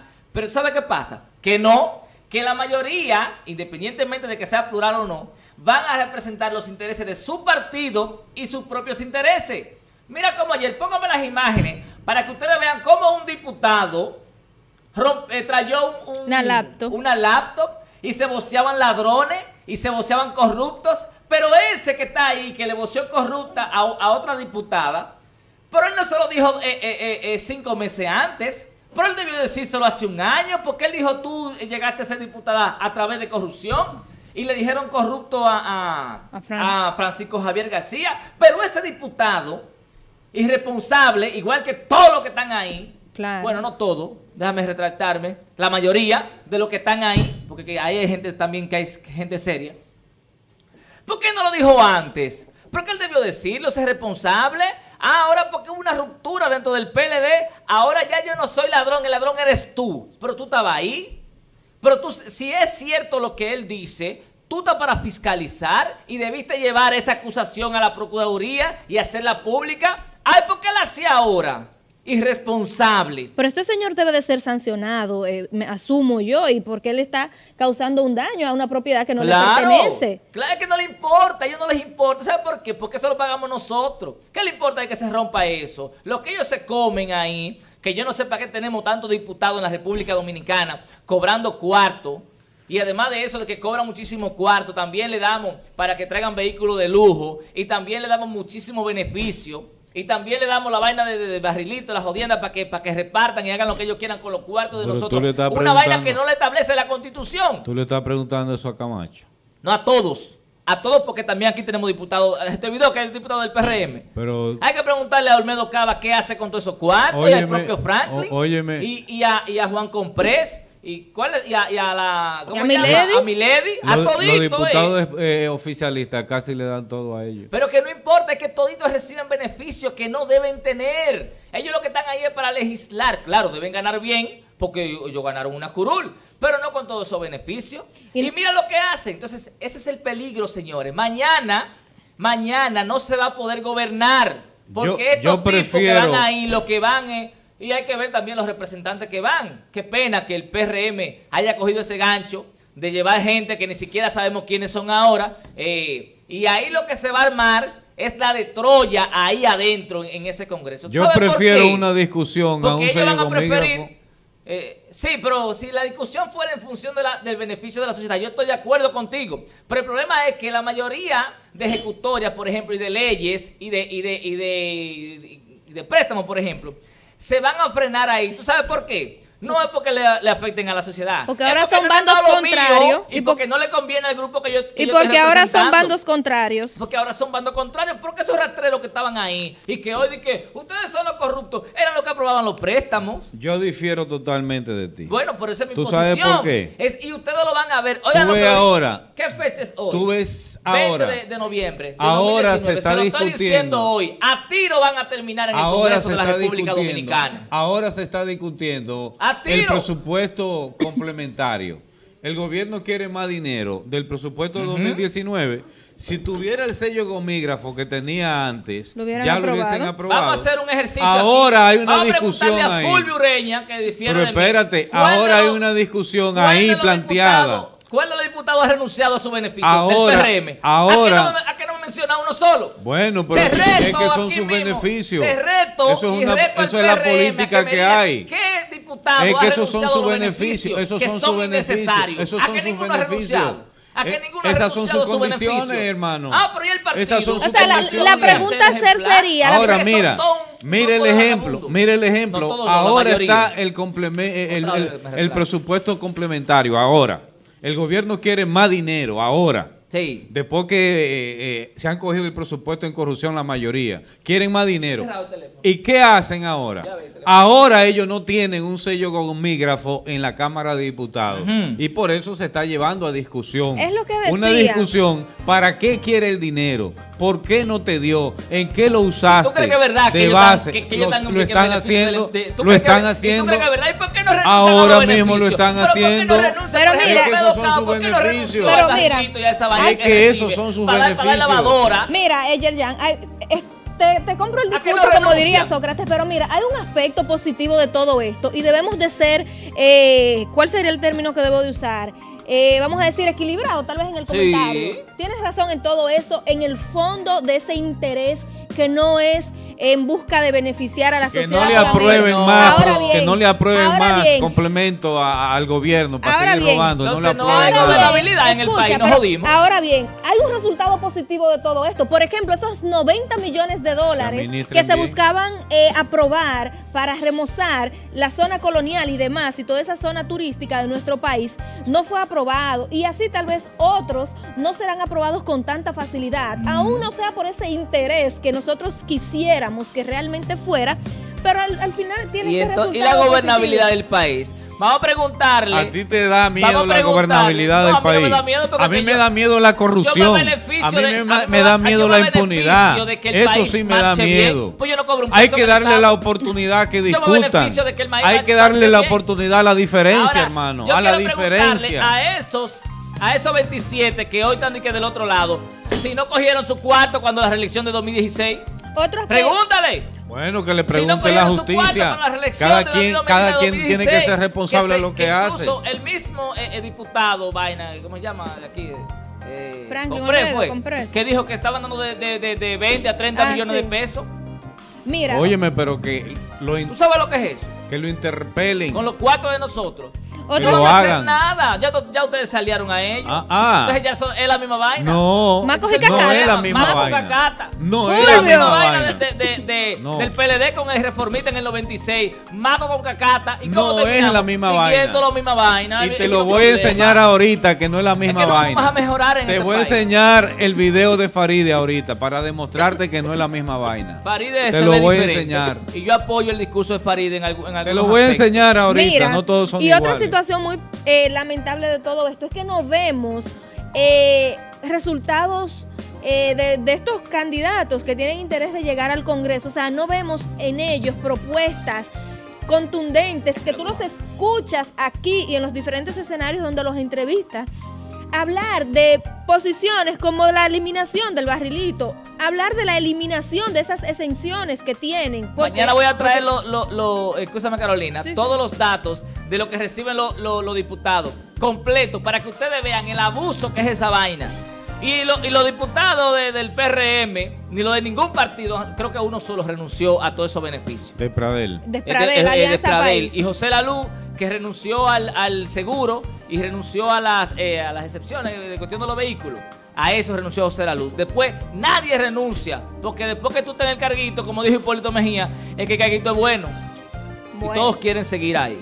Vamos a la pregunta del día. Nos mandan eh, dos respuestas. Vamos a ver qué dice Santana de Jesús. La pregunta del día, mírela ahí. ¿Cree usted que en un gobierno de Luis Abinader se, someter- se sometería a la justicia a los corruptos? Nos dice Santana de Jesús en relación a la pregunta. Bu- Buen día. Vamos al WhatsApp para escuchar la respuesta de Santa de Jesús. Ellos van a cambiar. Dice Santa, eh, buenos días. Luis y el PRM tiene que someter a esos corruptos. Si no lo hace, sería más de lo mismo. Se jode. Dice 1378, ¿Cómo nos dice, en relación a la interrogante de hoy, Si no hay un cambio total, radical en la justicia, un- simplemente el gobierno que venga se jode. eh, Luis sometería a Leonel Fernández eh, y a su grupo. Vamos a, a ver qué dice el 1378. En O lo relación a su interrogante de hoy, todos sabemos que los aspirantes deben de ofrecer soluciones al problema de la corrupción. Ninguno que llegue va a hacer mucho en ese sentido, ya que el- del decir al hacer tal o cual cosa hay mucha distancia, pero es que la debemos de justicia abogar dominicana está tan amarrada que tiene que venir por parte los cambios. Lo que nosotros hemos prometido como programa de gobierno de Luis Abinader es un procurador independiente que no esté atado a ningunos ligamentos Mm. políticos y también una reformulación en la escogencia de los jueces de las altas cortes. Sí. Tiene Eh, que el participar Consejo la Nacional de la sociedad. Magistratura. Y, e- y ese y ese y ese escenario que se da y esa película que se da para elegir esos jueces, eso debe de cambiar. Eso es lo que nosotros prometemos. ese es el primer paso para Claro, reformar. Claro. Es en paz Eso, eso del Consejo Nacional de la Magistratura, que es del- de, de- de la mayoría de los que están en el poder, Y- eso no sirve. Eso no puede, eso no puede continuar así. Muy bien, vamos a continuar y recordarles que estamos casi, casi eh, con el Viernes Negro. Doctor Vargas, eh, que hay un mito de que el café mancha los dientes. Hay que ver, yo no lo sé, yo no soy odontólogo, eh, si es cierto eso para que le digamos a la gente. Pásame el café, por favor. Vámonos a la pausa, usted no se distraiga tanto. porque tenemos más. Vámonos. A ver si, si mancha los dientes, no, no va a ver entonces. Claro que lo mancha. de mañana.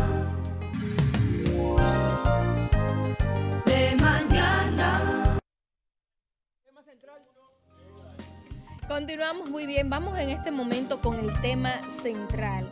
Caen las recaudaciones del gobierno y se elevan los gastos. Vamos a ver. Las recaudaciones que el gobierno tenía prevista para este año cayeron 15 mil millones de pesos y los gastos aumentaron cerca de 10 mil millones, lo que hizo que el Poder Ejecutivo pidiera al Congreso Nacional una modificación al presupuesto general del Estado para este mismo año 2019 para poder cumplir con las obligaciones. La explicación fue ofrecida ayer por el ministro de Hacienda, Donald Guerrero, a una comisión especial de la Cámara de Diputados que analiza la propuesta aprobada ya en el Senado de la República. El funcionario indicó que la necesidad de la modificación se debe a la, reducción de las recaudaciones y al aumento de los gastos en relación al presupuesto ya promulgado. Esos aumentos en los gastos corresponde- corresponden al anuncio que realizó el presidente Medina este mismo año, donde comunicó el aumento al salario mínimo del sector público el aumento y el aumento de las pensiones. Por, este lado, por el lado de los financiamientos, la modificación del presupuesto también reconoce deudas que tiene eh, con las EDES a tasas muy altas y a corto plazo. El ministro de Hacienda agregó que la reformulación del presupuesto eh, pone como solución renegociar el financiamiento de las EDES a tasas más bajas y a un plazo más largo. En la visita al Congreso, Guerrero estuvo acompañado de Luis Reyes, viceministro y director de presupuesto y eh, patrimonio y contabilidad. La reunión de trabajo que se realizó en el Salón Hugo Tolentino DIP de la Cámara de Diputados fue encabezada por el legislador Ramón Cabrera, presidente de la referida comisión es- especial. Eh, los funcionarios respondieron a inquietudes de los diputados sobre la propuesta y la reacción de algunos de ellos, como Alfredo Pacheco, Rafael Arias, Javier Paulino, señalaron aspectos del proyecto que deben ser analizados cuidadosamente. Entonces tenemos más gastos y menos ingresos. Ahí Menos hay ingresos. oculto un déficit fiscal que tiene el gobierno, que viene arrastrando, que ya significan más de 85 mil millones de pesos acumulados. También que le han dado un dinerito a Punta Catalina que no estaba contemplado en el presupuesto. También otros intereses que tienen que pagar a la banca internacional por las altas deudas que han tomado. Para que usted sepa, este gobierno está endeudando a nuestro país con 773 millones de pesos todos los días. Día que pasa, ya debemos 773 millones de pesos más. Pero una Entonces, pregunta. ¿Y para las qué EDES, eh, más las dinero a, a Punta Catalina si hay más apagones ahora? Son apagones financieros. Ahí recae Ahí voy. el déficit Las económico. EDES, se le tiene una deuda a las EDES acumulada de 13 mil millones de dólares. Si usted pone eso en millones de pesos, estamos hablando, señores, de casi 700 mil millones de pesos. Casi lo que es un presupuesto de un año. Eso se le está debiendo a las EDES. Y a tasas altas, con intereses altos. Y eso tiene que enfrentarlo el gobierno también para cubrir esos pagos. Por otra parte, el Banco Central también está lleno de certificados con intereses que tiene que pagar y el gobierno no le paga al banco. ¿Por qué? Están quebrados. Mala inversión, mala calidad de los gastos, desorden administrativo en todos los renglones. Basta un ejemplo. 11.500 millones de pesos para asfaltado en cinco meses a más de 38 empresas, grado a grado. De manera Basta un irregular. ejemplo. Mira, hay eh, dos aspectos que resalta el funcionario, donde cita que el hecho de esta eh, disminución eh, o esta necesidad, vamos a decir, de aumentar el presupuesto para el año, para este mismo año, él cita la deuda de las EDES y las pensiones. O sea, solo estos dos aspectos eh, han hecho posible que el presupuesto no alcance. O sea, solamente las pensiones y las EDES es lo que ha hecho posible que el presupuesto para este año no alcance. Yo prefiero creer la otra versión de que han habido gastos como la inyección que se le ha tenido que hacer a Punta Catalina, la inyección que se tuvo que hacer en relación a las primarias, de esa forma acelerada que vimos el país casi completo asfaltándose y sabemos qué es o cuándo se hace más bien aquí los asfaltados y esa cercanía con el pueblo de aprobarle o llevarle lo que ellos están pidiendo en tiempos electorales. Vamos a decir, ese desvío de los fondos en otras cosas que no son las necesariamente las que se establecen en esos programas de gobierno. Entonces esto da por resultado que tú tienes o finalizas un año sin cuarto, porque es la palabra. Usted se imagina, estamos, vamos a llevarlo al plano eh, más, eh, vamos a decir, eh, para que nos podamos entender. Usted termina, estamos en noviembre, y usted a esta fecha, usted se planificó el año completo y no sale bien el año y usted tiene que estar buscando prestado para poder terminar el año. Pero aún así, para el, aún así, para el presupuesto de- del 2020 también tenemos problemas. ¿Qué te dice eso como resultado? Que nosotros tenemos un problema serio de déficit en la República Dominicana. Y no está más destapado porque cuando salga el PLD del poder, ahí es que se va a saber la situación real de la debilidad económica que tiene la República Dominicana en estos momentos. Miren, con relación a, a la parte eléctrica en la República Dominicana, pareciera o parecería ser que el quien dirige esa parte tiene la intención de hacerle daño o hacer quedar mal al gobierno porque cada día hay más apagones. Vean estas imágenes que yo he compartido. Esas son las comunidades. Me mandan eso de San Francisco de Macorís. De una comunidad eh, llamada Las Guasumas, el aguacate. Bueno, ahí dice está como, está como al revés. Eh, y esas son las comunidades protestando porque no hay luz. Si lo hubiesen Pero y Punta Catalina, ¿no venía? voltear, ¿Cuándo estaba supuesto terminar el proyecto Punta Catalina, Fulvio? Pero que Hace se- un buen ¿qué tiempo, ya. tiene Punta Catalina? Eso ni siquiera, Era para el eso ni 2018, siquiera- eso ni me parece que se iba a de- eso terminar. ni siquiera de nosotros. Miren, no puede ser que a esta altura de juego nosotros estemos todavía hablando de apagones en, en la República Dominicana. Y aquí quiero Y con otra una deuda vez tan grande hacer un detrás. llamado exactamente. Alguien se está beneficiando de eso. No, ahí hay Hay una un mafia llamado grande. entonces a los señores eh, funcionarios públicos, a los señores del gobierno, Bichara y esa gente. Bichara, Bichara que está ahí ahora. Señores, no El se roben tanto el que siempre ha el estado dinero ahí. del pueblo. Vamos a devolverle al pueblo lo que ya se ha ganado con tanto sacrificio. Por lo menos la luz, déjensela. A mí lo que me Por asombra, Dios. a mí lo ¿Tú que me sabes lo asombra. incómodo que es tú estar en una casa, por ejemplo, los que tienen niños eh, a oscuras y con calor. Bueno, ahora no, no hace tanto calor porque estamos en, en la época ya de, de navideña, pero tú sabes lo que es eso. O sea, pero por Dios, mira lo- cómo están las comunidades. Esas son comunidades rurales donde no hay protesta y están protestando porque no le mandan la luz. Y lo peor de todo es, adivinen qué, que se la cobran. Claro, o sea, ¿y cómo es posible que se aparezcan a una casa a llevar un, un recibo de luz, energía eléctrica, para decirle tú me debes a mí?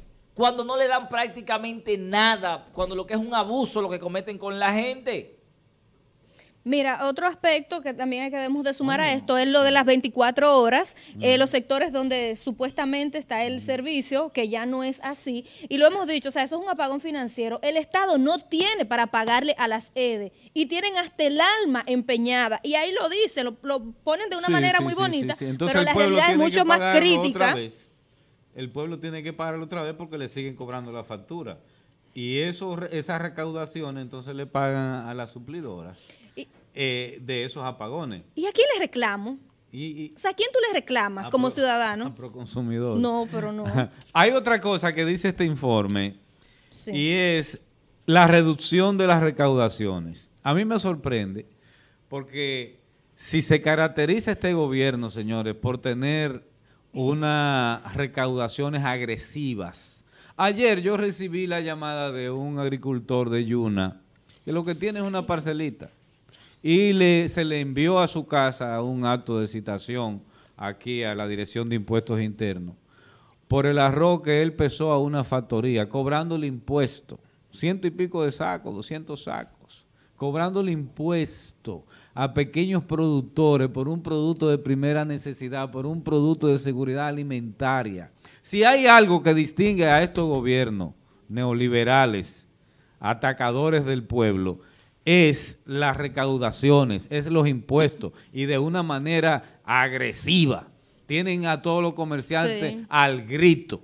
Y todo el que hace algo, lo primero que quieren es, que- es cobrarse sus impuestos y un bendito anticipo. Y por Sí, donde sí, quiera no. agobiando. Y tú no tienes la agobiando, forma de agobiando. formalizarte. Y hablándome a mí, con todos estos ejemplos de corrupción que hay en nuestra nación, lamentablemente, hablándome a mí, que hay que recaudar más, recaudar más, recaudar más, recaudar más, pero recaudar más ¿para qué? Para que se sigan robando más, recaudar más, ¿para qué? ¿Dónde está la competitividad que nosotros vamos a tener como, como empresarios, como productores? ¿Y cómo? Si quienes están llamados a darnos a nosotros condiciones, lo que hacen es que nos mochan los pies. Por ejemplo, esos productores tienen que comprar el gasoil más caro del mundo. Esos Sí. productores tienen que pagar el, el transporte más caro del mundo. Esos productores tienen que pagar los insumos más caros del mundo por las altas tasas de interés que se le pone a todos los insumos que se usan en todo ese proceso. Y de paso también la cosechita también quiere quedarse con ellos. Y mira, Bueno, pues ya que se los roben todo. Y la, y, la eficiencia que ellos tienen en la recaudación, pero aún, aún dice el ministro de Hacienda que ha sido insufic- insuficiente y que no era lo que se esperaba, más resaltando más eso más. que dice Fulvio que es ciertísimo. Ahora, si fuera que nosotros tuviéramos la garantía de que eso que se paga a través de los impuestos y que los empresarios y todo el que hace vida formal, que tributa, lo tuviéramos en beneficios con un combustible más económico, tuviéramos garantía de salud, tuviéramos garantía en la educación, en la seguridad. ¿Por qué? Porque tienes eh, que tener un seguro médico, tienes que te- pagar un seguro médico costoso que tampoco es que te da los beneficios que se supone que deberían de dar, porque hay una superintendencia de seguros, hay unos legisladores que no les importa que usted pague dos mil pesos por un seguro y que no te da la cobertura en lo que tiene que ver con las recetas, en los centros Pero médicos. yo tuve ese tema aquí. Sí. Yo pago impuestos para qué? Sí. 49 mil eh, 49 mil pesos por familia se van en el año en gastos médicos, pero cuando tú dices a seguridad y cuando tú dices también a, a- a asuntos de agua, Pero la seguridad, vamos a... eso es terrible. La seguridad, Yerjan. Tenemos que tú tienes eh, que tener cámaras. Tienes que poner seguridad en los establecimientos Alarma. o tienes que estar, ajá, alarma, tienes que estar asustado cuando vas a cerrar tu negocio. lleno de hierro. llenos de hierro, sí, tus casas tienes que asegurarla. Pero algo más importante y vital que la luz. El agua para la República Dominicana y para los gobiernos del PLD y todo recae sobre ellos porque es lo que nos han gobernado, a excepción de los cuatro años desastrosos de Hipólito Mejía, no nos han podido resolver el, el sistema del agua a los dominicanos. Ni el solo. agua. Entonces, ¿qué tú tienes como resultado? Que la gente está harta y por eso es que todo el mundo quiere salir del PLD. Yo espero en Dios en- que en este de 2020 nosotros podamos hacerlo. Y encima de eso, más impuestos. Más impuestos. Más ¿Tú impuestos. algo que- que, Entonces, eh, señalar? Cuando ¿Qué un pueblo ve eficiencia, perdón, Yerjan, en la cobra de los impuestos Claro, y que se invierte en la gente, pues uno lo hace con gusto. Pero claro. Pero no han resuelto un solo problema vital. Hay un tema que yo voy a traer a propósito de la recaudación. Denme un, un- un minutito de producción, por favor. Y es lo de la fuerza recaudadora del Estado. Me quitan a mí eh, muchísimos cuartos en impuestos, pero creo que debería focalizarse, como hace por ejemplo Nueva York, que la fuerza recaudadora debe- debería ir eh, dirigida a aquellos que violan, por ejemplo, la ley. Claro. Me explico. Aquí debería haber un equipo de DGCET colocando, persiguiendo primero y colocándole multas que le sirvan al propio municipio, si se quiere, o al Estado, para aquellos que se van en rojo. Millonarios no hacemos. ¿Por qué? Porque aquí, por ejemplo, desde el principio, eh, eh, eh, en cualquier calle, tú vas y aquí nadie respeta la, ley de tránsito. Aquí nadie hace nada. Aquí la gente se parquea donde quiera. Aquí la gente se va en rojo cuando le da la gana. Entonces, hay estados que viven de los impuestos, precisamente de las multas. Creo que Nueva York, voy a traer el dato ya más específico. Eh, gran parte de, de- de- de sus fondos es a través de, la- de los, de los impuestos y de las multas. Por ejemplo, en Nueva York tú te la- rojo y esa multa te llega derechito. ¿Por qué? Porque están organizados. Entonces, ¿qué pasa? Vienen, como tú dices, y quieren multar al que está trabajando, o sea, Sí, quieren sí. que, eh, eh, cobrarle impuestos al que está trabajando, al que está produciendo algo positivo para el país, al que está produciendo empleos. Que no es que esté mal, pero no, ¿cómo se claro hace? que no está mal, todos tenemos que pagar impuestos, pero vamos a equilibrar la cosa. Eh, aquel que está violando la ley, que se fue en rojo, que está poniendo en, en- en peligro la vida de muchísima gente, vamos a multarlo y que esa multa realmente llegue a- al Estado y que eso se le devuelva a la gente en beneficio para, para ver si podemos desentar este país. Son demasiadas diabluras, son demasiadas diabluras. Mira, en relación al tema, nos escriben eh, dos personas y nos dice uno de ellos, el 7672, nos dice, no vas, no van a cambiar nada si son todos ladrones. Así Ay. que la gente, ese es el sentir de la gente. ¿Cuáles son todos? Eh, sería bueno que usted lo especifique. Y hay diferencia, hay diferencia. Luis Abinader es un hombre honesto. Hay El diferencia. 8117 nos dice, con Luis se cortarán todos esos males, los corruptos, todos serán llevados a la justicia y habrá un fiscal de respeto e independiente, Ay, Fulvio Ureña. Eso suena como una novela. ¿Qué? Vamos Bueno, nosotros. lo vamos a Ojalá hacer, y sea lo así. vamos a hacer. Eh, pero lo primero que tiene que hacer Luis Abinader es ganar las elecciones. Y, coño, esa vaina de esa liga de Maco y Cacata y le puede traer a él problemas. Como, Vamos no, a- como a- no era Liga Maco y Cacata. Sí, Vamos a ir a una breve pausa. Recuerde usted la pregunta del del día. 96. ¿Cree usted que en un gobierno de Luis Abinader se someterá a la justicia los corruptos? Mándenos su comentario. Sí, Vamos, que mírala ahí en pantalla. Sí, ahí está. Escríbanos, Envíalo, llámenos. escríbelo, Después escríbalo. de la pausa. No importa su forma de pensamiento. ¿Qué escriba. pasará? La gente tiene derecho a expresarse. Vamos a la pausa. Eh, claro, como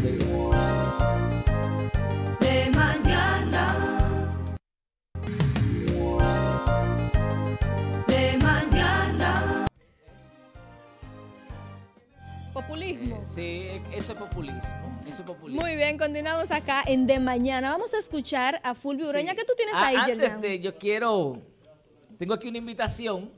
Miren muchachos, tengo una invitación aquí. Ah, pero Nos muy están invitando a una fiesta en una fecha cualquiera. Esto es un, un centro de salud privado que nos está invitando, pero que como no, no sé, ¿tiene publicidad aquí muchachos? No. Bueno, como no tiene publicidad aquí, bueno, pues yo no estoy autorizado a leer esta invitación. Eh, bueno, pero nos están invitando a una fiesta un día Ve cualquiera para allá a bailar, ve para allá a bailar. Eh, ahí está, yo luego se la paso a ustedes para que ustedes vean qué fecha si quieren. Está Ya bien. en la Ahí- antigua vamos a ahí está. escuchar a Fulvio Ureña ahora con la presentación de su tema. ¿Y qué nos tienes? Bueno, eh, yo sigo con el trabajo que hizo Alicia desde otro enfoque. Aquí hay cuatro periódicos de circulación nacional. Y ayer de esos cuatro periódicos ni uno solo reseñó lo presentado por Alicia Ortega antes de ayer. Pero tú no puedes imponerle. No, no, no. Estoy diciendo eso. Escúchame, Fulvio, que te interrumpa. Yo pero tú estoy- no puedes imponerle No, a ningún medio no, no. lo que, lo Yo que va estoy- o de la yo línea estoy editorial. totalmente Los de medios de acuerdo comunicación contigo. publican lo Sí, que pero él va quieran. por otro lado, déjalo Yo que estoy termine. totalmente de Eh, acuerdo contigo. O sea, Es que no hay compromiso Yo no periodístico, puedo es un imponerle negocio. eso a ningún periódico. Exacto. Ahora, a mí lo que me extraña es que un tema de tanta importancia y de tanta relevancia en la comunidad dominicana, en el pueblo dominicano, como lo reflejan las estadísticas, la corrupción, la impunidad son de los principales temas de la población dominicana. Y me extraña que ningún periódico haya traído ese tema a raíz de un reportaje tan magistral como lo presentara esa periodista profesional encargada de investigación periodística. Otra cosa es la memoria de nosotros. Esa misma periodista presentó un reportaje de Odebrecht, donde ese mismo es ministro de Obra Pública, no, el primero, el primer reportaje donde vinculan a Gonzalo y vinculan a Bichara, Bichara. con sobornos de Odebrecht. Lo vinculan con 39 millones de dólares en obras hechas en el Ministerio de Obra Pública durante la dirección de ese personaje y también lo vinculan directamente a Punta Catalina. Y tú sabes otros reportajes que ella hizo muy bueno también. El de Eh, Diandino de Diandino Peña. Peña. Y no pasó absolutamente No pasó absolutamente. nada. Entonces, el otro reportaje, que es el, el primero que tú me pusiste, el que hizo antes de ayer, que hay una vinculación directa también con el mismo personaje. ¿Con Bichara? No, no, no, con Ah, con Gonzalo. El mismo personaje. 11.500 millones de pesos. 73 millones de pesos diarios. Diarios. Durante cinco meses. A, 30, empre- a 38 empresas en contrato grado a grado. Y Cámara de Cuenta, bien, gracias. No dice esta Ética boca de es mía. gobierno, bien, gracias. El PETCA, bien, gracias. Y la Procuraduría, bien, gracias. Entonces, viene un abogado defensor, José Ramón Peralta, abogado defensor de Gonzalo Castillo con esta denuncia que hiciera Alicia antes de ayer. Vaya usted a saber qué abogado, pero los mismos pronunciamientos, los mismos pronunciamientos que hiciera eh, Gonzalo, un au- autodefensa a sí mismo, sin darle ningún tipo de Pero- oportunidad a la justicia Vaga, vacía. totalmente vaga y vacía. Yo quiero eh, que por favor me pasen la intervención de Faride ayer en la Cámara de Diputados. Faride. Como ustedes se eh, recuerdan, Fuego, Faride. se, inter- se solicitó interpelar a ese mismo personaje más de 21 veces, ponerlo en agenda en la Cámara de Diputados. Y Radamé Camacho nunca lo incluyó, nunca. Son aves Ni del la mismo dejaron hablar. corral. Eso no es por Vamos a voto. escuchar a Faride. Eso no es por voto. Vamos a escuchar a Que no la dejó hablar fue. faltado, que ni siquiera es de la calidad que se necesita desde el punto de vista técnico. Pero ¿qué es lo peor de todo esto? Que estos hallazgos deben ser investigados por un ministerio público que sea responsable, porque eso es lo que manda el artículo 169 de la Constitución de la República. Y lo que hemos visto es un ministerio público encabezado por un procurador que apaña la ilegalidad de los ministros que pertenecen a su propio partido. Y lo que hemos visto es un Congreso Nacional del que formamos parte y nos quejamos porque nos cuestionan, porque no hacemos lo que tenemos que hacer. En el año 2017, el diputado Wellington Arnaud de la bancada del Partido Revolucionario Faride. Cito a Faride. El gobierno de Danilo Medina se roba los recursos del Estado. Y termino la cita.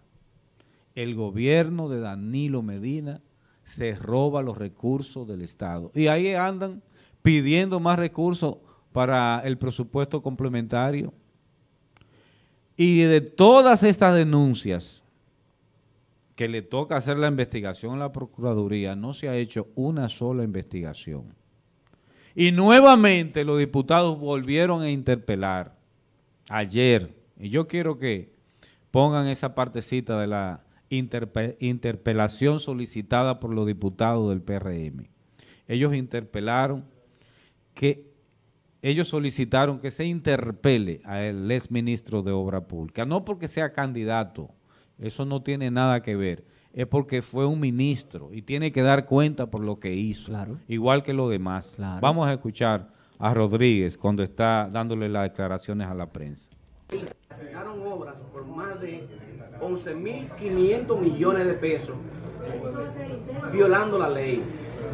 Pero lo peor de todo esto es, señores, que el saliente ministro de Obras Públicas, hoy candidato presidencial del PLD, deja en la gaveta todas esas asignaciones irregulares para ejecutarse, ya él no estando ahí, estando en campaña, una actuación que llama mucho la atención. Y nosotros entendemos, señores, que frente a esas denuncias, el Ministerio Público hoy debe darle una respuesta al país, abriendo una investigación. Bueno, si usted suma el estudio que hizo Osfan sobre lo que se va en corrupción aquí, el 1.8% del Producto Interno Bruto, para más decirle que casi 50 mil millones de pesos, y lo que se va en gastos así, superfluos y, y- y clientelismo, eh, llegan casi a 185 mil millones de pesos, y con otra cosita, más de 200 mil millones de pesos. Vamos a tomar la llamadita, va. Va- vamos a tomar la Buenos llamadita. días. Buenos Buen días. día. Buen día. Más despacito, más Espérese, que despacito. no se escucha bien. De nuevo. Díganos ahora. gobierno de Abinader, los jefes de la justicia van a ser Leonel y los bichos. Ay, es que, que los jefes de la Fulvio, tú que- justicia no, ah, no, van eh, Vladimir, Vladimir, eh, no, Eh, estaba gra- diciendo Gracias. eso. Y yo quiero hacer la pregunta a, bueno, a, a la oposición. Eh, es cierto, yo estoy de acuerdo con que hay que interpelar a Gonzalo Castillo. Y a eh, todos los a demás ministros y funcionarios. Pero quiero preguntarle, y a los diputados y senadores, ¿quién los Ah, va a ah, hay, que, interpelar? eh, hay que interpelar ¿Qué cualquier hacen ellos con ciudadano. todos esos beneficios que reciben? Cual- cualquier ¿Dónde lo ciudadano puede invierten? ¿A quién interpelar. se lo dan? Y otra cosa, un Yerjan, informe de yo tengo una preguntita más linda. ¿Por qué el presidente Danilo Medina guarda silencio ante tantas escenas de El corrupción? que iba a actuar por el rumor ¿Y por qué? público. Claro, pero ¿Y por qué tanto silencio? ¿Por qué? ¿Por qué tanto silencio ¿Cuál ante la corrupción y la, impunidad? ¿Cuál corrupción? que yo soy admirador de Faride, pero también hay que preguntarle a ella si ella renunció a todos los beneficios que tienen en la Cámara de Diputados. Eh, porque la Ninguno lo han Constitución hecho. no habla de que ustedes tienen que andar dando eh, habichuelas con dulce. Solo Fidelio ni- Despradel, un hombre honesto ni y cómo serio. se llama, ni, ni, ni lavadora, ni estufa. No están para eso, los legisladores están para legislar y para fiscalizar. Solo Sin embargo, Fidelio. parecen el plan social de la, de la presidencia. Bueno, de esta forma, su programa Eh, de ella no dio mañana. batata para la bichuela con dulce. De esta manera nosotros hemos llegado a la parte final. Mañana nos vemos Si nuevamente. se Feliz día. también debió renunciar a todos esos beneficios. También. Fidelio, el único. Eh, Fidelio López, ella- ella se respeta.